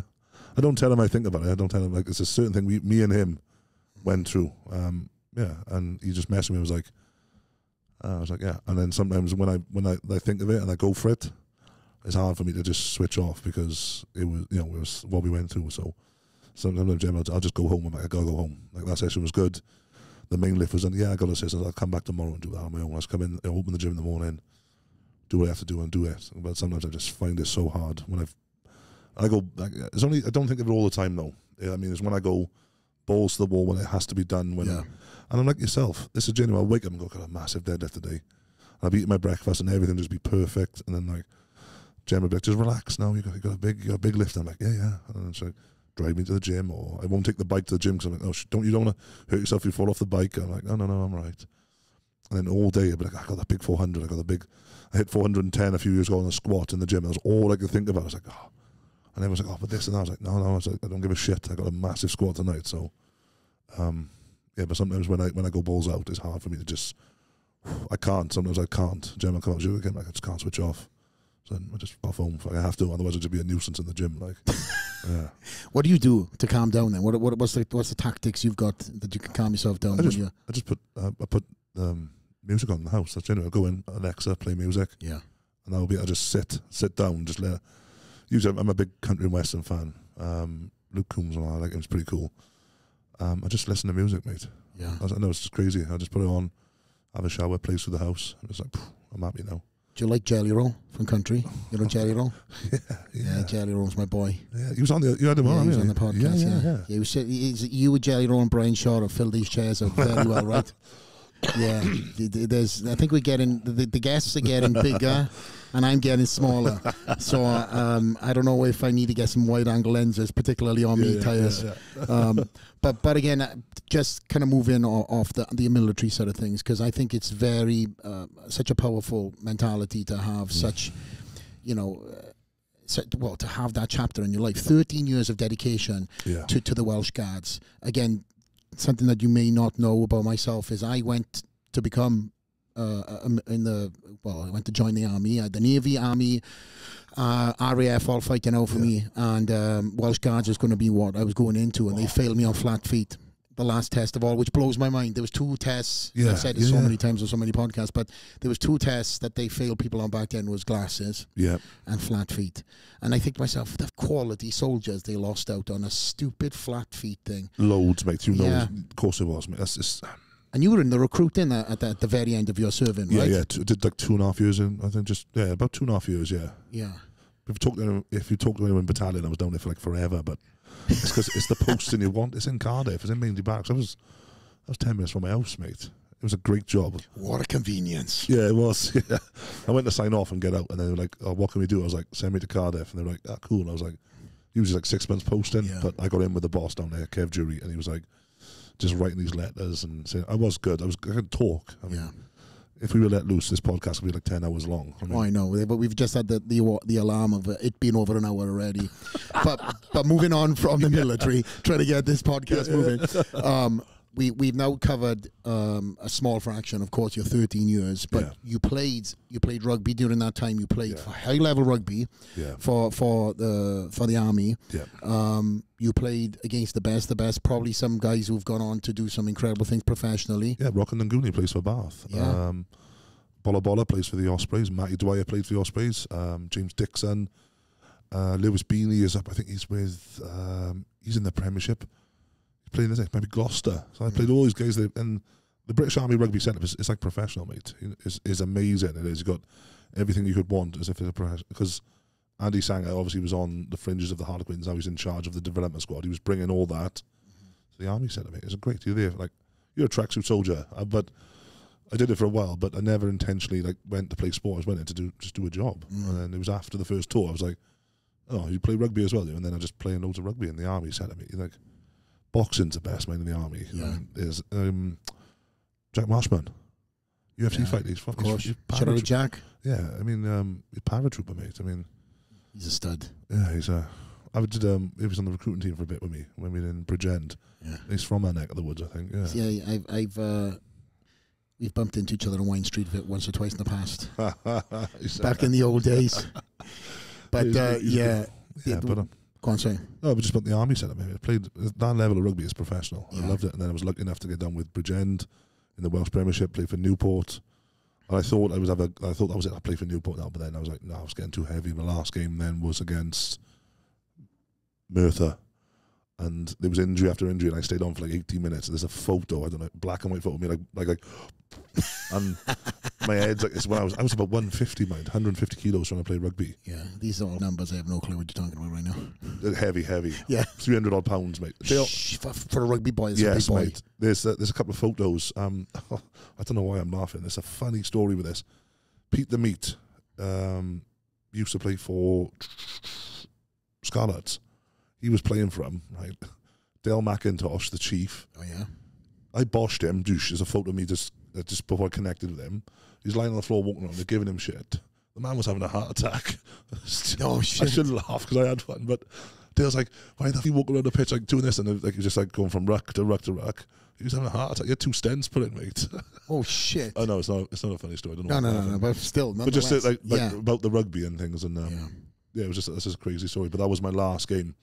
Um, and then Dale tried to sign me, give me a sign for Merthyr. As I walked off, I was like, "No, I'm, I'm, like, I'm absolutely bollocks, mate." And then went in Tyrone Jones, then who's the coach. I think he's still the coach of Newport. And I was like, "You signing for us, Gav, again next season?" I was like, "No." I was like, "I'm officially retired." But then I played one game. Then we got to the Philly got to the finals, and we played Ammanford that Shane Williams played for. Shouldn't have been allowed to play from that game. It's the only game he started all season, and I was like, "He can't be that good." He's he's in his forties. Oh, he was still very, Oh, very he's good. still good. He was the world's best player. You know, lot. Didn't they play that in um, Arms Park? no, it was at um, Millennium Stadium. The Millennium Stadium, I Yeah, just said yeah, that. yeah. That's- Yeah, That's yeah. how Oh. my brain goes. Connected. Yes. Yeah, yeah and um, I remember him starting. I was like, that's a bit cheeky because he hasn't started any other game. But Yeah. what a player! Um, Great player. and that was my last game. That was literally my last game I played. We didn't make the. f- We didn't beat them. We should have. We should have. We whooped them, but we, sh- we didn't. Um, and that was my last ever game of rugby, mate. And then from there, Yeah. He went. The cap Yeah. was off. It How much weight did you put on from your rugby days to your strongman days? Oh my god! There's a photo, right? I don't know if I'll be able to find it of me in the team lineup, and it, looks superimposed. But I'm like so like that. I'm about 150, maybe 160 even. And I put 40 kilos on top of that mind as well. Yeah. So that wasn't even my biggest. I mean, there's a photo where the gym has just opened. Me and Simon stood there side on. It's like I got a walk under my t-shirt, mate. It's like, like I got a bit of a belly now, but I mean, no joke. I was. You dig that photo, man. I was huge, man. But Yeah. uh, not not good, not good at all, mate. Yeah, but you, you, you again, your mentality and talking earlier in the show was power equals. Mass You move. know. All I kept saying, mass moves mass, but it just and then frustrating because I couldn't. And I was like, what am I doing wrong? I was like, I was like, I melted welly, mate. It was not good. A melted welly. That's a rain boot in the US. I'll translate. Uh, so, so you managed to then the rugby days obviously were done and dusted. Moving on to the strongman, your first your first strongman was the novice, right? Were you did you do that whilst you were in the military, or do you still were you? Yeah, yeah, I was in the military. I went home on the weekend. I trained on the weekends in a gym called Parathletics. Um, they were a great help, mind. Um, Yeah. I'm not. That's not a plug or nothing. Didn't mean to do that, but um, they're a great gym. And I went home on the weekend and won every event. It was. It was good. It was. It was like um, England's strongest or England's powerful man novice. I won it. Qualified for this other show. Um, come fourth of that, and I was like, no, I'm not. I'm not going through the novice route as I'm getting quite strong. Yeah, the guy shouldn't. It was like a mistake on my my part at the end that dropped me to fourth. Um, and then I just went straight to Wales Strongest Man and, and almost beat Ben Brennan, but he beat me like by one point, and I was like qualified for the UK's, and then just it literally just went from there, mate. Within two years, I was at the Worlds. What blows my mind, Gav, this is what going on to your seventh year in strongman. Is that or six? This will be my so this is my sixth year. This is your current six year. Yes, yeah, mate. Wh- yeah. Which, when you think about it, right, in, in any any sport, any sport to become one of the world's best in six years is, is incredible. Considering that you your DNA wasn't focused on any of that No. training style, being the military, running, playing rugby. There was, yeah, you could say there's some crossover lifts that could have helped you, you know, uh, maybe foundationally, Yeah, but there was no purpose lifts, focus lifts. No. You making that change over, obviously, you said the diet wasn't on point, but but but the training obviously was now focused. Yeah. Blowing up that fast, and and what is it? Was it uh, three years you were on the world? You were in the world's strongest man groups. It after after signing yourself up to full time strongman? yeah, it was. Yeah, I mean, um, I got the army, and then I think it was like four months. I'd won the UK Strongest Man, and then I had to call up to the world. So it was the year after I left the army because I, you know, what's great about it, and I think I don't think about it enough. There was people who laughed. I know for a fact there was people giggling behind my back and giving me shit, and then six months later I become, or four months later I became the first Welshman to ever win it. And obviously I went on to double it, which is an amazing, title, brutal show. But I won the UK's, and then a few months later, I had a phone call to go and go to the world's strongest man. And when you put it like, I haven't, I haven't thought about it. Yeah, the first like two years I was doing, it, I was still in the military, so I couldn't let loose. I couldn't, and then obviously, um, you know, like like pulling a parachute in the sense I just put all that weight on because where could I have been if I had done it sensibly? If I hadn't gone so big so fast. But yeah, when you put it like, that, that's not too bad, is it? But woulda, shoulda, coulda, right? I mean, I think one of the reasons why you're the fan favorite, you know, in, in, in a lot of these events is that you have um, there's there's very likable look to you, and when they get to meet you, the fans, you know, again, I was at the World's Strongest Man, you had a lot of fans that were Yeah. going ape shit for you every time you left the the uh, the tent. And- Tent, yeah. and, and and for me again, I, I'm very prideful on on seeing that flag f- flown. But then when uh, you know there's there's somebody that's getting all this attention as a Welshman, and it's not me, I'm like you. No, but it's you, you're leading the way, mate. You're one of the greatest bodybuilders of all time. No, thank you, mate. Yeah, I, I- yeah, and um, you know, some of the words you're saying, mate, is is is, is unbelievable uh, for me. Like, it's hard for me to accept this. Like I'm sat here with you. So, Jem, I'll tell you, I'm a humble guy, though. I mean, and when I meet the fans, uh, again, Trouble at Giants live shows for talking so much. Like literally at Cardiff, like there was like 30 people left, and I- just had a group photo with them, and then the woman was like, "I send a photo to everyone." I was like, "I'm so sorry, but." Like, this could all be over in a blink of an eye. So I think, um, was it Michael Jordan said, "Play every game as if it's your last game." So I compete as if it's my last ever show. I, I it could be a lot, you know, we're very privileged that I get to do this for a job. So when I speak to fans and speak to people who uh, make the spokes, if it wasn't for them, we'd still be in car parks. I'm I'm just a guy from Caerphilly, but yeah, um, I, I love it, mate. I love the sport, and uh, yeah, maybe that's why I do, you know, get uh, you know, get a lot of attention because maybe I'm just humble. Some people just don't. I don't know. They, yeah, they're they're arrogant. Maybe they come across arrogant, don't they? But I'm not. I can't be. I think my father wouldn't let me like be arrogant. The way I was brought up, I had to be very respectful. So I respect people like I'd be like to be treating myself. So yeah, that's why I talk forever because I just uh, not because I like the sound of my own voice. I just you you can be dropped uh, uh, in a split second, can you? And it could be over. So yeah, just enjoy it, and that's what I do. I just enjoy the sport, man.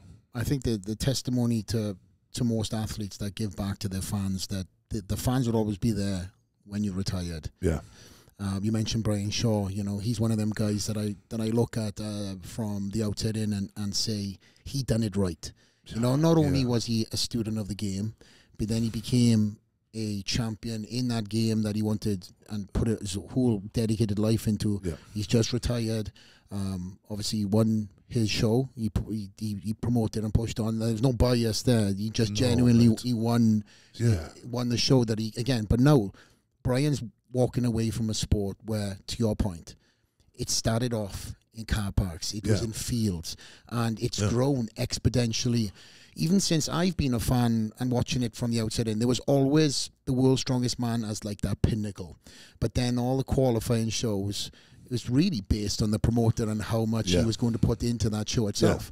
You know, you've got uh, you know Darren Sadler, shout out to Darren. I think he's doing an absolute phenomenal job with Giants Live and what they're doing and packing out arenas and making guys like yourself um, and putting guys like yourself on a pedestal for the Yeah. fans to meet.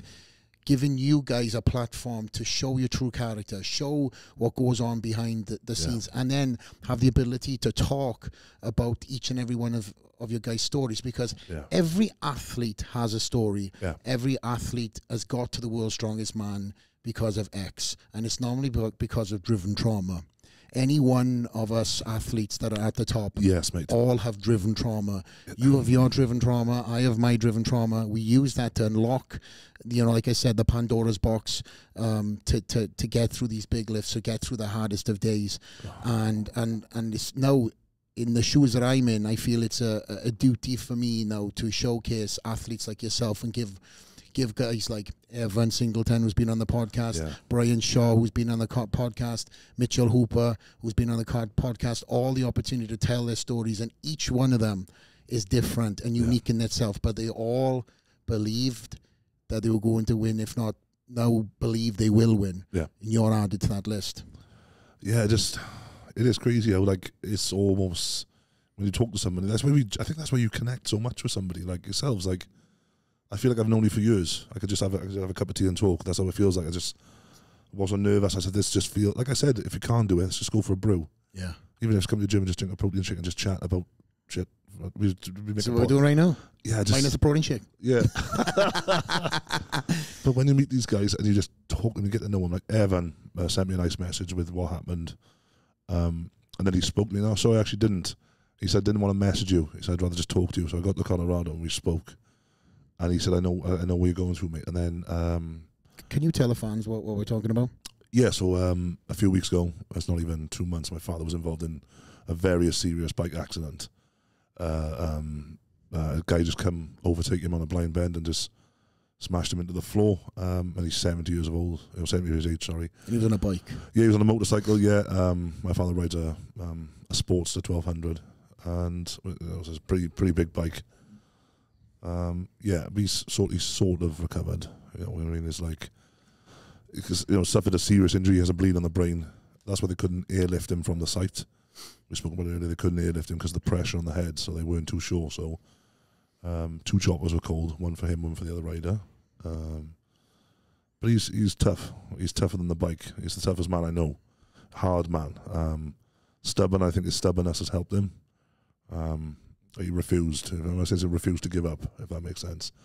Because this was crazy. We went shopping the other week. They won't this at Tesco, and a guy started talking to me at the, at the self checkout, and I was like, "Oh, cool. Maybe he recognised me off TV. I'm not being big headed." In Caerphilly, everyone, you know, and he went, "I was the car behind your father. I was the first on the scene."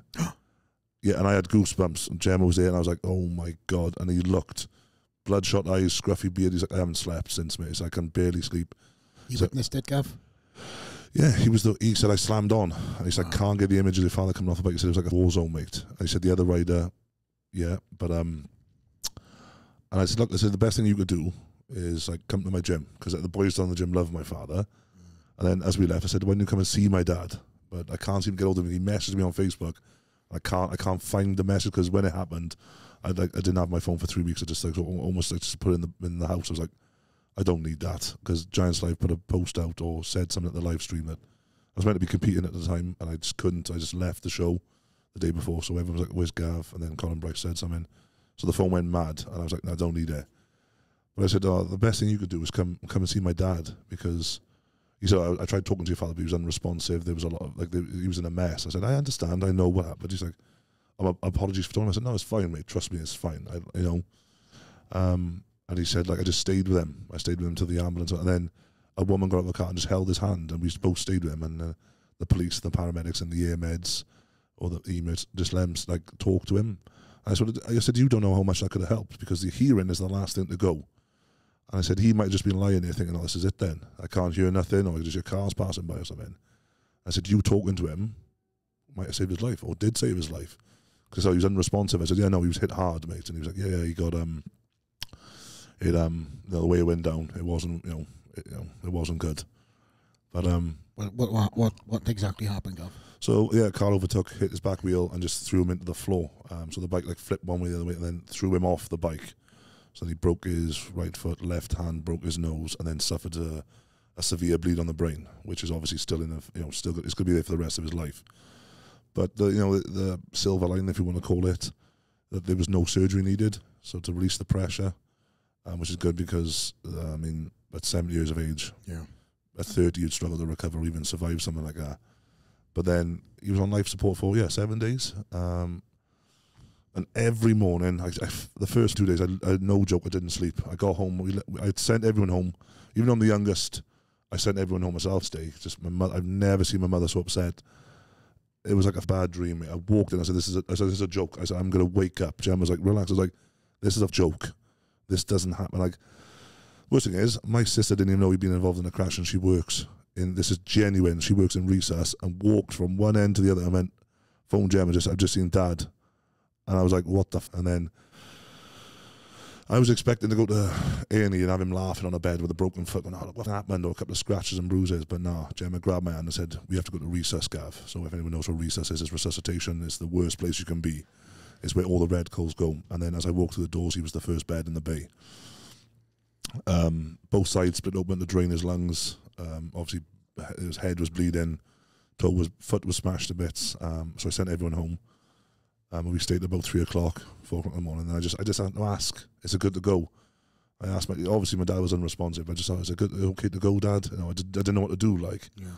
um, sort of like, because people said oh, I might be easy to handle with my previous job. I was like, well, no, because my father wasn't at war with me. So, so I left, and then every morning they would ring at the same time, half seven, to say it's okay, it's okay. Was this through the night, that through the night, and there was one morning then where they rang at like half six, and I was like, oh, this is it, because when that ventilator goes in at seven, my dad's got COPD, it's bad for the lungs. And at seventy years, I said, this is it. And Jim was like, no, no, you'll be fine. They just ring and probably say he's had a bad night or something. And I was like, and she was cheery as hell. The nurse. I was like, that's weird. They're not going to say he's dead if they're really happy. And she went, "I'll be brought him off the ventilator. Oh, He- wow. He's fine." And it, and then it was like, "Oh, he's asking for his wife." And obviously, he's very. He was like, "Oh, where's my, you know, where's his mother? Uh, his wife, sorry, my mum." And then he asked about his bike, obviously, but um, that'll be that'll be get fixed. I can fix that for him, but um, if he ever rides again, but yeah, that absolutely sucked, mate. I've never, I haven't really spoken about it that much to be honest with you, but um, you know, he's a safe rider, but you can't control what other people do. And 53 years, he's had like two crashes. Um, he's okay. He's in the house. Came home a few weeks ago. Um, um, and he's one of the things that's changed as well. Like, I compete, I competed for my family now, but I know sounds, I don't want to gruesome, but I think it's my fault. I'll tell you the truth, because I wasn't there to protect him. That's what I think. Uh, my wife hates me saying it. My best friend Simon hates me saying it. But he was out riding with a guy he doesn't really know, and I just blame myself for it, mate. And I, it burns me that I wasn't there to save him because when I got to the hospital, I have all this size and strength, and I couldn't do anything. I just wanted to pick him up and hold him. Like I felt weak as yeah, I couldn't help my father. I just stood there. I was like, "What the f- am I supposed to do? Like, I, I can do, I can flip cars, I can throw stones, I can throw human beings, but I can't do anything to my dad. What am I supposed to do? I just wanted to give him all my strength, and and just reduce me to nothing. That's what I wanted. As if I could give him transfer everything I had. Uh, it, it sucked, mate, and it just burns. Gemma hate me saying it, but I blame myself for it. I understand. I you know should have, would have, could I shouldn't have, shouldn't. Have, uh, and the worst thing was I shouldn't have been at that show. That's not knocking Giants Live. I chose to do it. I'm a man, but I took it on like last, like a couple of days' notice. I would have been out with him. I know I would have been out with him. And In my mind, I have to suffer. So when I lift, I hurt and I cut, I bleed, I collapse. I believe I have to suffer until he's fixed. I never really said that out loud to anybody, but that's the mindset I've had. And that's what I think about every day I've trained since his injury. I believe that I have to punish myself because I wasn't there to help him. Is dad on the mend? Sort of, yeah. He's never going to be the same man ever again. He will be lucky. He'll be lucky to ride ever again. Wow. So 12 months from the day you'll have another scan to see if how the you know severe the bleed is or if it's getting worse. Um, but I honestly don't think you'll ever ride again. So my my process is that I'll just make myself suffer, just so we can you know, because it's nothing compared. Literally, I, I believe it's it's nothing what he went through. So I know it might be a, um, a destructive way to go about business, but um, and Jem has never heard me say that, but that is how I see it because I wasn't there to help my dad. Yeah, it could have been a lot worse. I spoke to Darren Sadler about this, who was an amazing bloke. Um, he kind of went through the same sort of thing with his mother. I won't get into that, but he just said, "When you're feeling shit, mate, think how bad it could have been." I said, "Yeah, I do. That's why it burns. It hurts. I'm trying not to get upset or angry about it because yeah, but um, you know, a son should be there to protect his dad, like a dad would protect his son. So." I don't, I don't know, I don't know why I think that way, but yeah, I, I kind of take it as my own fault because he shouldn't have been there. It should, it should have been, you know, you, Fridays usually with me. You come to the gym. but that time, he would have been at the gym as well. So I get, uh, yeah, it's the way I have to be, mate. I don't think that you know you should blame yourself.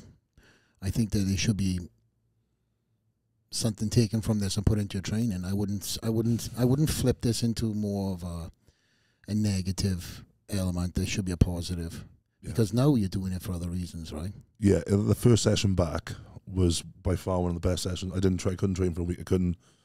I was in the, I was, I was obviously the ward he was on. We couldn't just go in every day. It was like Yeah. one hour a day because it was twenty four hour care for him because he was on life support machine. But so I didn't train for about seven days. I think I just couldn't couldn't switch off. Couldn't sleep. The, my headache was like as if someone was like squeezing. I know that doesn't match what he through, what he was going through. I was lying in bed, just like like with my just like staring at the ceiling. Like I will fall. I was like I'm gonna fall asleep in a bit. Then the sun come up, and I was like, right, another day, knackered through the day at the hospital. And then I just back to bed, and I just like, I will fall asleep, and I just couldn't for two days straight, mate. Honest. And then the session back when he came off life support, it, I was it was by far one of the best, probably the best session I've ever had in my life. Absolutely smashing things to pieces, and I was like, yeah, and it drives me. Like ever since that happened, I know it's yeah maybe that is a positive thing, you, you know, because you have to focus on certain things to lift Yeah. Sometimes it's, it's, you can't just focus on the weight. And like we said, we- we're a bit broken, so I focus on it a lot. And it's, it's literally, uh, um, yeah, like I do it for different reasons because it could have been a lot worse. It could, could have been a totally different conversation. Absolutely, and, that, and that's what you got to really Yeah, see see this as the again the, the glass half full here, right? We could be having a conversation that Yeah. not even going to say it, but, Yeah. but but it didn't happen. Yeah. But now there's something has clicked inside you that maybe wasn't there before. There's a light bulb. There's there's yeah. something that's going on, and you're you're pissed off for greatness. You know? yeah, it was. I, yeah, I don't keep saying I shouldn't blame myself. It's not about me. It's about my dad. But yeah, something just snapped. I was like, he loves the sport. Like he loves what I do, and I he was he couldn't come to the show in Cardiff because it was too much for him, like sensory overload. So my mother came. Um, yeah, she was crying her eyes out. My dad was crying when I phoned him the day after. Just like he's so happy for me. It was a great result, and going back to the worlds.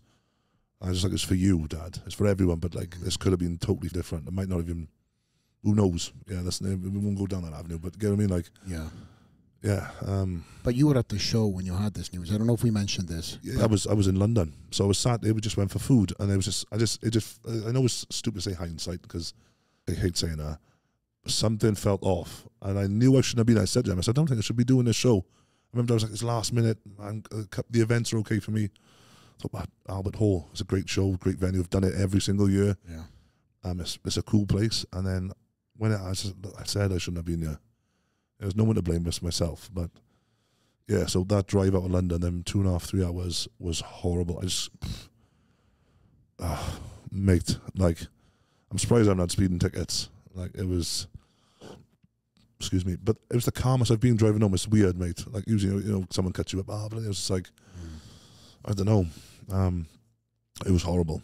Like, uh, I was trying to, yeah, say calm. I think I was just trying to just relax and not get into an argument with somebody because I'd probably be serving time now if I if I'd got out the car or something. But oh man, it's like you never think it's going to happen when you read about and see him on you know the Facebook and social media and on the news about this car crash. You're like, oh god, I hope he's okay. Mhm. You're like, that's never going to happen to me. And you know the worst thing was, he was like 100 meters from my house, Oh wow, very and he was at, he was on his way home as well. Yeah. Like he was going home, and this is what I got in my head. I was like, why were you going down? You never, he never drives that way. He went on the back way to the house, not down the front sort of way, past the front of the shops. As, yeah, How, how much has uh, uh, has your dad played an inspirational role in, in all of you done? Uh, yeah, he is. He is like, he just comes to the gym and he he just sit there in awe. And he's like, oh, what's that way? He's not an idiot. He's he's a smart man. He's he's sharp about him. You know, he's a, he's as he's sharp as anything. But yeah, he loves it. He absolutely, he's just like, oh, don't matter what you do, I still love you. I'm still gonna be proud if you come out. He's that sort of dad. Yeah. Yeah, he wants me to win. He loved me playing rugby. Loved me when I boxed in the army. Loved me when I was in boxing before I joined. Loved me in the army. Absolutely loved it. Um, you know, you see me in my tunic, you see me in my two dress. Getting back from operational tours, things like he was so proud. And now he's like, I'm even like, I'm bursting because like you're, you're a strong man and you were a soldier. He tells all his mates down the club about it. So, yeah, he's a huge role model to me. If I can be half of what my father is, I'd be something special. Like, I mean, Mm. old school. It'd be this, you know, you know, I mean, Welsh old school. Yeah. yeah, I mean, I wasn't, no, I wasn't brought up hard. But me, all my dad would have to just look at me and I'd be all right. Yeah. So, but he brought me up right, man. I, I, I probably pissed people off saying that, whatever. But like, yeah, respect, Yeah. and uh, he's is one of the reasons why I do it. My whole family is. Like, I do it for them. Like, say, so they can say, "Oh, my son does this," not to show off, but it's like, "What my son does," and kind of is showing off, and then we all show off a bit. But um, yeah, um, could have been a lot worse, mate. Absolutely. Who else has been a, an inspirational role for you to get to where you are right now? It'd be my wife. Yeah. I mean, um, You guys have been together how long? long time. I mean, check, count the grey hairs. It's like count the circles on the tree. I think. Um, You're not doing yourself any Uh, fucking no. justice, by the way. no, but we met a long 16, 16 years, mate. We met. Wow. Um, So she's seen all the changes. Yeah, she was like, it was funny because someone shared the photo of me playing for Newport, which is Yeah. a club local to me. And then someone said it's crazy that you had abs in that photo, and I was like, yeah. And she was like, "Can you get them abs back?" I was like, "Maybe when I'm done." Genuinely, she's like, "Yeah." She, I see her look, and she's like, "Yeah, you're in fucking good shape there." And I was like, "Well, I'm in a shape now, but just a different shape." More of a strong man in Yeah. shape. abs, ab, the abs are still there. They're just they're just hiding. But just how you did. yeah, my wife she works incredibly hard, Yeah. and to see her do everything she does, and especially through COVID. Like I said earlier, everyone had their ass kicked in COVID. Everybody from yeah, eh, you know, from the the guy who works in the corner shop to to the nurses at the top. So um, lifting weights is not that hard when you consider what she what they had to go through for them three three to four years. Well, the department now is still still on his ass. The NHS is on his ass as it is. Most people don't know what the NHS is, but um, National Health Service. um, and I always believe if that falls, Britain falls behind her because it's the spine of Britain. So uh, if me, if I have to struggle a little bit um, in, in lifting weights, that's kind of okay. When I see the wife get home from a shift, Yeah. absolutely shattered, and some of the things we talk about, I think we have to talk because it helps decompress. Uh, for the first few months of that COVID, fuck it, it's like a tour of Afghanistan. Mm. Literally, that, and I just and it pissed me off when people said it was a fake thing. All we had to do was just pop down to your local A and E, you know, and just say, "Look, what's going on here." So um, yeah, she drives me. She is stronger than I. I've said, I say it all the time, stronger than I'll ever be. Yeah. If I didn't have my wife, I, I guarantee I wouldn't be here. I was wild when I was young when we first met, fighting, drinking, and everything. Um, yeah, but she sorted that out. So yeah, yeah, she is. She is my life. God, so cheesy. It's all right. We like a little cheese here and straight Yeah. out the there. But yeah, uh, yeah, I made her cry at the last show. I didn't mean to do that, but um, I'm trying to make you cry. It's impossible. no, I'm, I got a, I got a, I got a swinging brick for a heart, mate. You're right. Thanks, you got a swinging dick. It's all good. I thought that was going to be the ending sentence, and I was like, "What is he talking about now?" No, but um, yeah, it is, mate. She's my life. She, I compete, so we can, yeah, enjoy our life. We're going through certain things, um, but it's a good thing. So, yeah, um, by the end of the year, things could be a little bit different as well. So, yeah, all positive. We've got a really nice house we just bought, but you know, it's because if I have to bust my ass in the gym and do whatever I have to do just to get the things we want, then it's okay. If it makes her life a little bit easier getting home from 12 hours of what they have to go through down there, I mean, I do it. So I do everything for her. You guys have just moved into the countryside, right? Yeah, it was, it was but it's like out the back end of it, and it's it is quite the house, mate. Yeah, it's it was it's not it's not a mansion, but it's still I won't say it because Don't have to justify it, man. We live in America. Everybody comes on you and talks about all kinds of things Yeah. they've got. Yeah, but I just yeah, it's, it's We we, are- are, very very grateful for what we got, and yeah, um, I won't tell the address because I when I first moved in, I was so keen for it. I was like, oh, you know where that place? Because people are like, I'm from Bed or something from Killeen, and I started giving the address, and she was like, we've just moved, and you got to tell everyone where we live, and I was like. But um, oh, it's a lovely place, mate. And Nice. um, I usually post photos of my cat. He's exploring the land we live on now. So Yeah. I've seen you guys done a, a, a little Q and A couple of uh, couple of months ago, and, and that was your land, right? yeah, so that's Beautiful. like the one part of that is split patio. was really nice. Good jacuzzi at the top was lovely. But um, yes, scary at night though. Yeah. Scary, yes. I'm not saying I'm scared of the dark. Just You just did. We all know who wears the pants in your house, mate. It's okay. Yeah. You, you what? How, how, how, Gemma, how tall are you? Five two. Five two. Are you five six? yeah. Yeah, we all know. We seen it, didn't we? We all walked in here. We all know who wears that pants. It's all right, Gav. It's okay. Come and cuddle. It's only thunder and lightning. That's exactly what it's like. Yeah, it is. yeah, it's all right, man. We all know. Yeah. We all know. Um, but but again, you now have um, some big things planned for this year. Um, and and um, you're obviously you've got your sights set on the world's strongest man in the next couple of years. Yeah. What what have you done to improve your strongman? And we- we'll kind of uh, end this with with, with strongman training. But what what lifts have you focused on more than any other? And also, um, what can we see now going into next year's World's Strongest Man? is is more not more on my lifts. My lifts are, almost the same. It's my conditioning. I mean, I was I would literally the first year. I don't think I did any. I did hardly any moving, mate. The only condition I would do was like stone lifting and sandbag to shoulder. So what me and my coach, um, 3D Strength Dale, have have worked on is just dropping the weight and just get, moving my ass, mate. And I feel so much better. Like um, I have a complex where you think you're not big anymore. And 'cause I train like with big guys, it's like they don't sort of compliment you. Like I hit certain numbers and they were, and they go, "That's all right, mate." They like they're not like, "Yay!"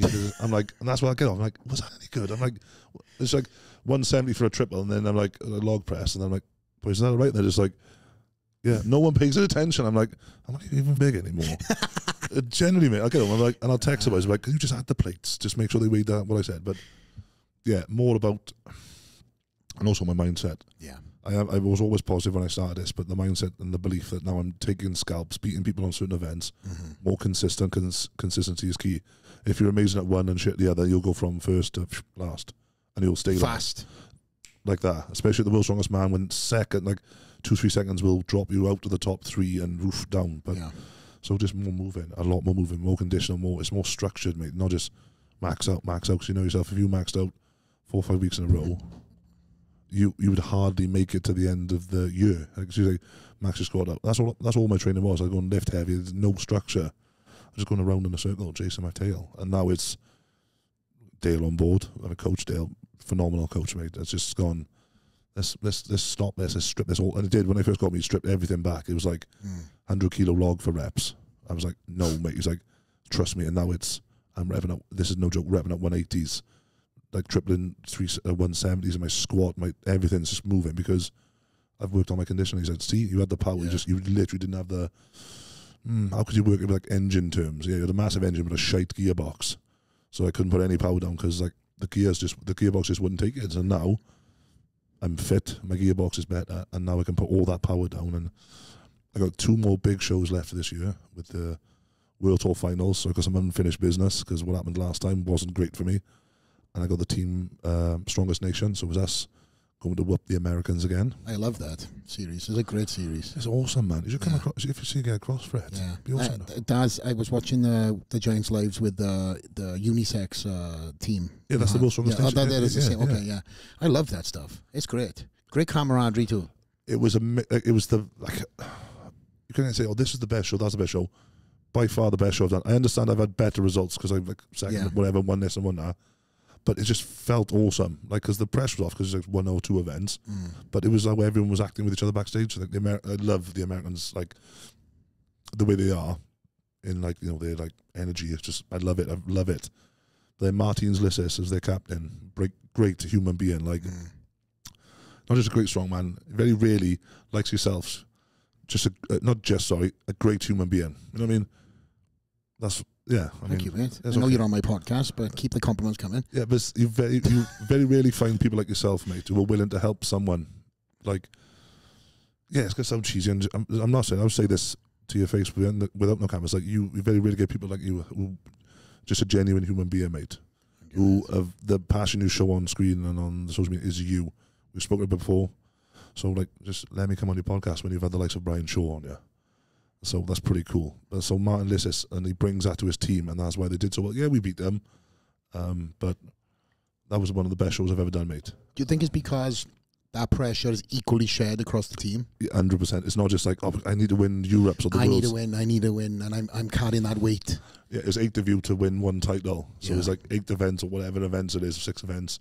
Some are singular, uh, but you go you know, go head to head. But you're like, well, if I lose this, like Hicksy destroyed, smashed the deadlift, and Mm. he did like 360 for like seven or eight on an axle. It was like, you mutant, like. um So the pressure's off. Yeah, that's why. Because I got it, and I was just like, oh, it's just the end of the show. It's just. oh, I'm not saying that because Darren Sadler might be watching, but it was a great show. But it was like, there's no pressure. If we not if we lose, of course, it's pressure you want to win. But it was just like it was shared. Like I said, Yeah. it was like it was not just solely on me. If I fuck my event up and someone else does, it's kind of. Ew. Yeah. But um, it was a great show, mate, and it'd be awesome. And then that's it. Then so them two shows. So World Deadlift, um, no, the World um Tour Finals with the Log Lift Championship, which is the max log. Um, and then yeah, that'll be the last show, and then Liverpool before it. Mm. Then we get ready for the World's Strongest Man next year, which I back again. which I've qualified for already, which I, I didn't know what happened. So I thought it was just first place goes to Giants Live, uh, goes to the Worlds, and then they sort of selective. But then when I go on the podium at um, Cardiff, Colin Bryce said all three of us are qualified. I, I didn't know that. Yeah, yeah, qualified for World. Congrats, Yeah, qualified for World's Strongest Man next year already, 2024. Wow. Yeah, it was, so that was literally stood on the podium. I was like, yeah, second place, that's not too bad. Evan, Yeah. Evan great athlete. Um, you know, mixed up all the way to the end. Um, second's not too bad. Um, yeah, obviously wanted first, but he went, oh, great. He says it's not too bad. We need second best in up. Is that what it is? Europe's Europe's strongest man, right? No, it was um, the world, Giants lives. Uh, sorry, yeah. it was the World Open, so World it's it is, it's bigger than Yes, yes, yes, yeah. Um, yes. Because of course, I haven't been an American athlete. Yeah. of course. And then he just went, yeah, all top three have qualified for the Worlds. And I was just like, what? I thought I thought only the first place got it. Um, but no, I'm going to. Well, congrats on that, mate. Yes, that's not too bad. That's not a bad start for next year already. Yeah. I mean, that's the pressure off. So when it comes to Britain's Strongest Man now, I'm just focusing on the show, not like I've got to get on the podium because obviously you know yourself, you stress. Mhm. That's where things go wrong. Like, um, so just go and compete now, and then the pressure's on the other guys. Obviously, Tom will be going back because he's two times world's strongest man, and he's also with the results falling this way, this going this way this year. But I mean, the pressure's off, and I just compete. I just fight. you know when we get the events, that's all I'm going to focus on. I'm going to worry about like I have to get on the podium, or what about third? What about second? I'm like, no, no, Yeah. I can just compete and just go hard because I'm going back. The pressure on you guys, sort of thing. So What is the timeline that you've given yourself to win the world's strongest man? Two years. I said it like last year, but within these two years now, this year and this, so I'll make the finals next year. I will win it. It's, I know it sounds like not a defeatist. I'm a realist as well as an optimist. Can you be that? I don't know, but I give myself two years because I just I don't want to shut the door after and go, oh, I didn't make it, and I'm 35, and that don't mean nothing in this sport, mate. Hmm. Like Brian Shaw proves it. To me. He's an absolute for him to win a show, and I gotta say, all the shit that people give him about his show, win his own show, the strongest man still won. It's as simple as that. He beat everybody on reps. He beat this and did that. So yeah, if Brian Shaw's gonna watch this, I mean, um, like he was an absolute. That's the biggest I've seen him. Like He's big. scary big. Like he Yeah. put on these. See the deadlift? He put on the, the trousers. It made him look bigger. I was like, how have you got bigger by putting trousers on? I was like, good God, man. Like, but that's like that is testament to who he is. Yeah. Like I, I said in an interview that we have to pull this up that Brian Shaw would win. Like, sorry, no, you guys. Um, the Brian Shaw, like media guys, I said he would win because I'm not sure what I heard it on. Maybe as a like a wildlife show. A, a lion is almost is always is the most fiercest at its end. So when they're about to get, you know, because he was retiring, they're always they're like the most savage at their end. You look like a beast, mate. Nobody was beating him. Yeah, Tom did amazing to win like Yeah. five events back to back, but unfortunately the log cost him. We didn't get any reps, but you have to roll the dice. But um, It's that consistency, I guess, across the board, right? That one Yeah, I one don't- event. I don't think I don't think he won an event, Brian Shaw, but he was just like top three, top three, top three, second, second, second. It was just like with you accumulating points because the guy who wins, like because Evan Tom Evans won the chest press, but then didn't do too well on the other events. So he was top and then just went like that, and then Brian was just like bang, bang, bang, bang, bang, and then got the, like the power stairs and the fingers fingers. Just like almost participation for him. I was like, um, but I was talking to Nick Best, sorry. And, and Nick obviously trains you. Great guy. You guys went shooting yesterday. amazing. Um, Nick is such a gentle giant, isn't he? But he was telling me that um, fresh off the press, he, he drove up to uh, Colorado to help out uh, with uh, Yeah. Brian. Um, and have you seen his car? He's got this mini. I don't know how the hell he gets in there. Can you No, imagine? I haven't seen his car. He's got a no. mini. He has a mini. So him and and his training partners all collectively come to the gym In a mini. in the mini. Nice. It, it looks like a Mr. Bean skit, like uh, um, and and the, the, the, the suspension is maxed out to its full. hundred But anyway, yeah. off the point. But he told me that Brian, in um, one of the last lifts, even though you, I think he had to get five, I believe that on a chest press or something that that incredible contraption he created, looks like Mad Max. He uh, he only had to get a certain number, and he pushed an extra two and tore his pec. Yeah, uh, we saw it on the day we went to the lake. Um, just boom, blown. It's bruised, bleeding already. It was. I don't know if it's right or left. Can't remember. But yeah, that's just a, he's an absolute animal, mate. Yeah. I mean, That's how you go out. You're talking about that lion, right? yeah, because like they're so because they know. No, I'm saying. You know what I mean, it's like you know, it's just coming to an end. So he's like, this is it. This will be the last time I deadlift Mm-hmm. competitively. But um, I said it in an interview. I said, you know, what? I said I saw him earlier. No chance. Like humongous, mate. Mm. Like in great shape, so conditioned, and at forty, I don't want to knock him for his age. Of course, Jesus Christ can't. But um, oh, man, if he's a blueprint of a strong man, Yeah. and all like he's like one of my idols. Right? And they say never meet your idols. That's a load of shit. I Yeah. met him.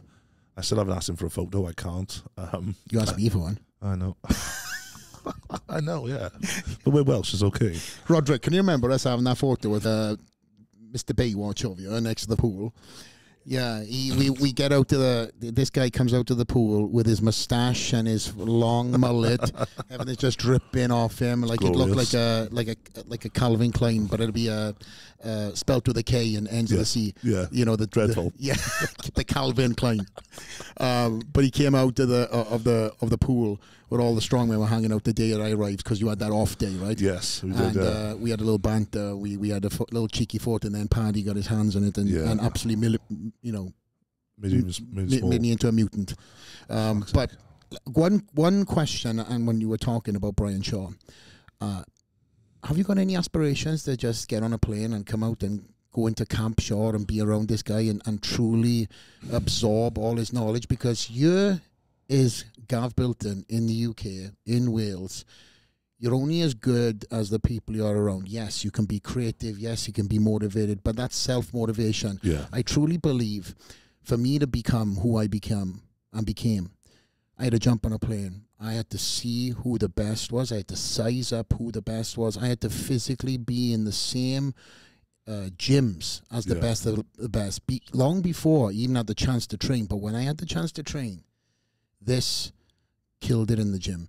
I might not have been the strongest, but I never got outworked. Strength came with maturity, and strength came with time. And I feel like you are. I think you're just so humble. It's a fault.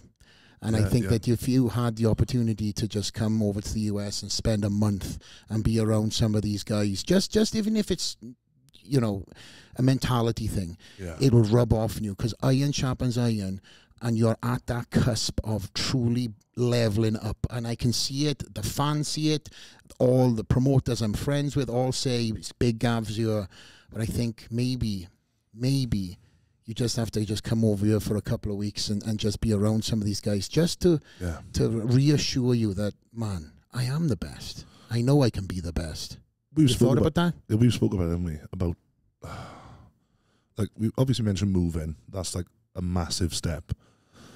But I said I need to go somewhere where I ain't the biggest because I, I, I, I keep knocking myself. I'm not about something. I go to most gyms, every gym in Britain. I'm going to be the strongest guy there. Yeah, I'll bump into like Hicksy or Bish, but still, you know, nine times out of ten, whatever. But I said, and even Simon said, you need to go to a place where you ain't the biggest, mate. He said, yeah, you'd be the strongest, but not the biggest. And if I could sort something out, maybe towards the end of the year, I would definitely come out, yeah, and see and start my camp. If Brian Shaw would speak to Brian Shaw about it and just go and train with him and to be like, like I said, be around. Like that's an amazing saying. Iron sharpens iron. I love that. And be around Brian Shaw. You just pick up that mentality of like, he is humble, but then when you hear him talk, he is like, I'm I'm the world's best. that's what i mean yeah, I love, I love, I love listening to him talk because it's like, there's that humbleness, but then someone just sort of, he'll just, he'll just be like, and then he's like, no, I'm four times world's strongest man. Yeah. it's, it's just the way, you, and then I'm like, yeah, I need it because I, when I say things, I go, oh, I don't want to sound big headed, yeah and the boys are like, they're just like, shut up and say it. I'm like, oh, but I'm out, I'm this so coming out here with some, definitely something I would love to sort out. Maybe I'll, me- uh, not maybe, I will message Brian Shaw, and if the wife would see fit, I would come out there. And if he would have me, I'd stay with him. I mean, I think he's got a pretty big enough house to. Brian's doing all right for himself Yeah, he's okay. I've, I've, yeah, I've heard stories. So Brian Brian's still counting the cash he made from the last show. I'm sure. yes, Um, but listen, all all testaments and kudos and, and roses to Brian. He has earned his stripes in this Yes. sport. He has truly become, you know, in my eyes, a pioneer of the sport. And now his retirement is an opportunity for you to to, you know, get that experience, get Yeah. that knowledge, soak it up. But also, not only that, you can have maybe spending a couple of weeks here where you do one one week with Brian, one week with Evan, one week. I know the boys would love to have you around, you know, because you're bringing your strength to them too. It's like, listen, this is not just a one way street. If, Yeah, if yeah, you're t- walking into the gym, they're looking at you. It's like, Gav, me help me out with this. Help me out Yeah. with this, and then you're going like, okay, this is not my strength, but I know I can you, you know, it goes for Yeah, everything. yeah. Hand, hand grips. You know, you talk about tack earlier. All these small little Yeah. things that you don't get from being in Wales, that you get from being around the best of the best, is is kind of where I feel that you will pick up points, pick up seconds, pick up whatever, just coming over here for a couple of weeks. yeah, definitely that will get sorted. You know, I just I just made something happen. You, I don't know. I've just Yeah. I've just given some, some advice, but anyways, No, yeah, but I'll get back and um, yeah, we fly out tomorrow in the evening, land Wednesday. I'll message Brian Shaw. I know there's a time difference, but I will get something sorted because Oh, like man. could just be a month. At the end of the year, nothing happening. I finish finish that show, fly out, and just say, look, like I said, travel around. They don't know. They don't live that far from each other either. No, no. And I love the trucks up. Yeah, I'd hire a truck and um, I'd be Yeah, it'd be tough, but we've we've done worse things. So I don't think uh, America is going to be, uh, you know, tough on you. That's for sure. No, I think you might be tough on America, but yeah, I'll be okay. you know. But uh, anyway, Gav, we have we have talked your your year off, and um, I truly want to say thank you for for jumping in on on some studio time here today. And, it's been amazing, and, thank you. um, Just uh, talking about your story, getting getting you out to a newer audience, and and you know for for my audience now to start leaning into you and seeing what the the, the remaining part of the year brings, and, and Yeah. I'm I'm excited. Obviously, I've said it many times today. You know, selfishly, I see you flying the flag, and you gotta. You know, I, I said also like uh, Big Av is like the Chris Bumstead of uh, of strongman, good looking with the moustache and the mullet going on. Yeah, um, so It's a now, trend, yeah, So like you are the trendsetter. I haven't seen anybody else with a moustache and mullet. No, in, mate. In, Can't, in, can't put it off, can they? So, no, no, I know, can't. and you got the the shades too, which is kind of your brand. Yeah, Pit Vipers, they're amazing, mate. Yeah. Yeah, we got to get you a sponsorship now. You can't be promoting Pit Viper without Pit Viper promoting your pocket, okay? Little inside tip from Flex Lewis. But Thank you very Um, much. great to have you here, my friend. And, and always, this is a, a second home for you guys Thank when you so are here in Vegas. And um, I know that you guys leave out late tonight, right? To get back to sunny Wales, to Yeah. back to Area 51. Yeah, that's what I, I'm at my home gym. Yes, yeah, And, uh, and, the, and then the work begins. yeah. Back to it. I've had a week off. Um, literally done nothing. I had one session uh, in the hotel gym just to get a pump on. That was it. You broke everything probably, but nonetheless. Yeah, the dumbbells. I went up like I think it was 50 pounds. I was like, oh god. Oh, God, my warm up. Yeah, Anyways. it was it- great. Thank you. Yeah. Do you want to um anything you want to sign off on and promote, talk about before we, we land the plane for the podcast, Gav? The the floor is yours. Don't be Mr. Humble Pie. no, no. no. You can talk. Thank your sponsors. Thank whoever you want to do. This is your platform. Go ahead, my Yes, friend. just like to thank my sponsors, Silverback. Thank you very much. Dale, my coach, an amazing coach. Oh, yep, there we are. Thank you guys. Yeah, Dale, you're an amazing bloke. Thank you very much. Simon Hammett, you're a legend. Thank you, mate, for looking after me and keeping my uh, head cool. And the past couple of months, you've been uh, lifeline. Thank you to my wife. She's over there. Just thank you very much. I love you loads. Come in the shot, Gemma. Come and say hello. Come on, Yes, get in. yes, go yes. on, go on. You only do this for the Welsh. uh, give the camera away. Say say hello. Right, bugger off. You've done. That's good. to get in. You have to, you have to Are you weren't even in? You weren't even in. Come on, stick it. You got to duck down a little bit. Duck down. There we go. Uh, there we go. We got it. Get down. There we go. Ah, she's in the frame. It's all good. And then also, um, yeah, if you want to see more content, just give me a follow. Gavin the Bull Bilton on Instagram. Yeah, and uh, new merchandise coming soon. Badooshk. Yeah. So new merch is dropping soon Yes, on the yeah. website, which is yeah, what? yeah, so we're building the website. So obviously, just the link will be put on my page, on Yeah. my Instagram page. Uh, it's getting sorted this week. The guys who I work with are, are great guys at Cloud Galactico. Um, they'll be fixing that for me. So, yeah, new merchandise. Because I just usually sell it through my Instagram, but that was just getting a mess because so many orders. But the, the shop will be launched with the new merchandise by the end of this week, or if not, like early next week, because obviously, if something happens, but it should be done. Yeah, very soon. And you're also going to be putting more content on the YouTube page, right? Yeah, YouTube. uh, We had to start the step with that due to what we spoke about earlier, but um, yeah, it would be. Like, we got loads of stuff filmed and chopped up and ready to go. So literally, when I get home, um, it will be it'll be done straight away. Yeah, I'm gonna I'm gonna actually get some uh, extra footage uh, out you now since you're here at the Dragon's Lair. You, Gemma, you listening? You cannot get come all the way to the Dragon's Lair and not having Q and A with the Dragon's Lair in the back. So we'll we'll put a little Q and A qu- questions together with the Q- with the Dragon's Lair in the back, and then you can put that on your YouTube in the, in the future. that is amazing. Thank you very much. Of course, my man. So big Gav Bilton, the bull. Signing out, Flex Lewis, straight over there. We appreciate you guys. Link, like, comment, subscribe, and we'll be back with big guests. Not bigger than Gav, I don't think, No, but figuratively. But uh, in the next couple of episodes, guys, where we've got a lot of com- things coming down the pipeline. I want to thank you, as I said, for all the support. Season two has begun, and I can't do it without you, and I appreciate you so much. Flex Lewis, out.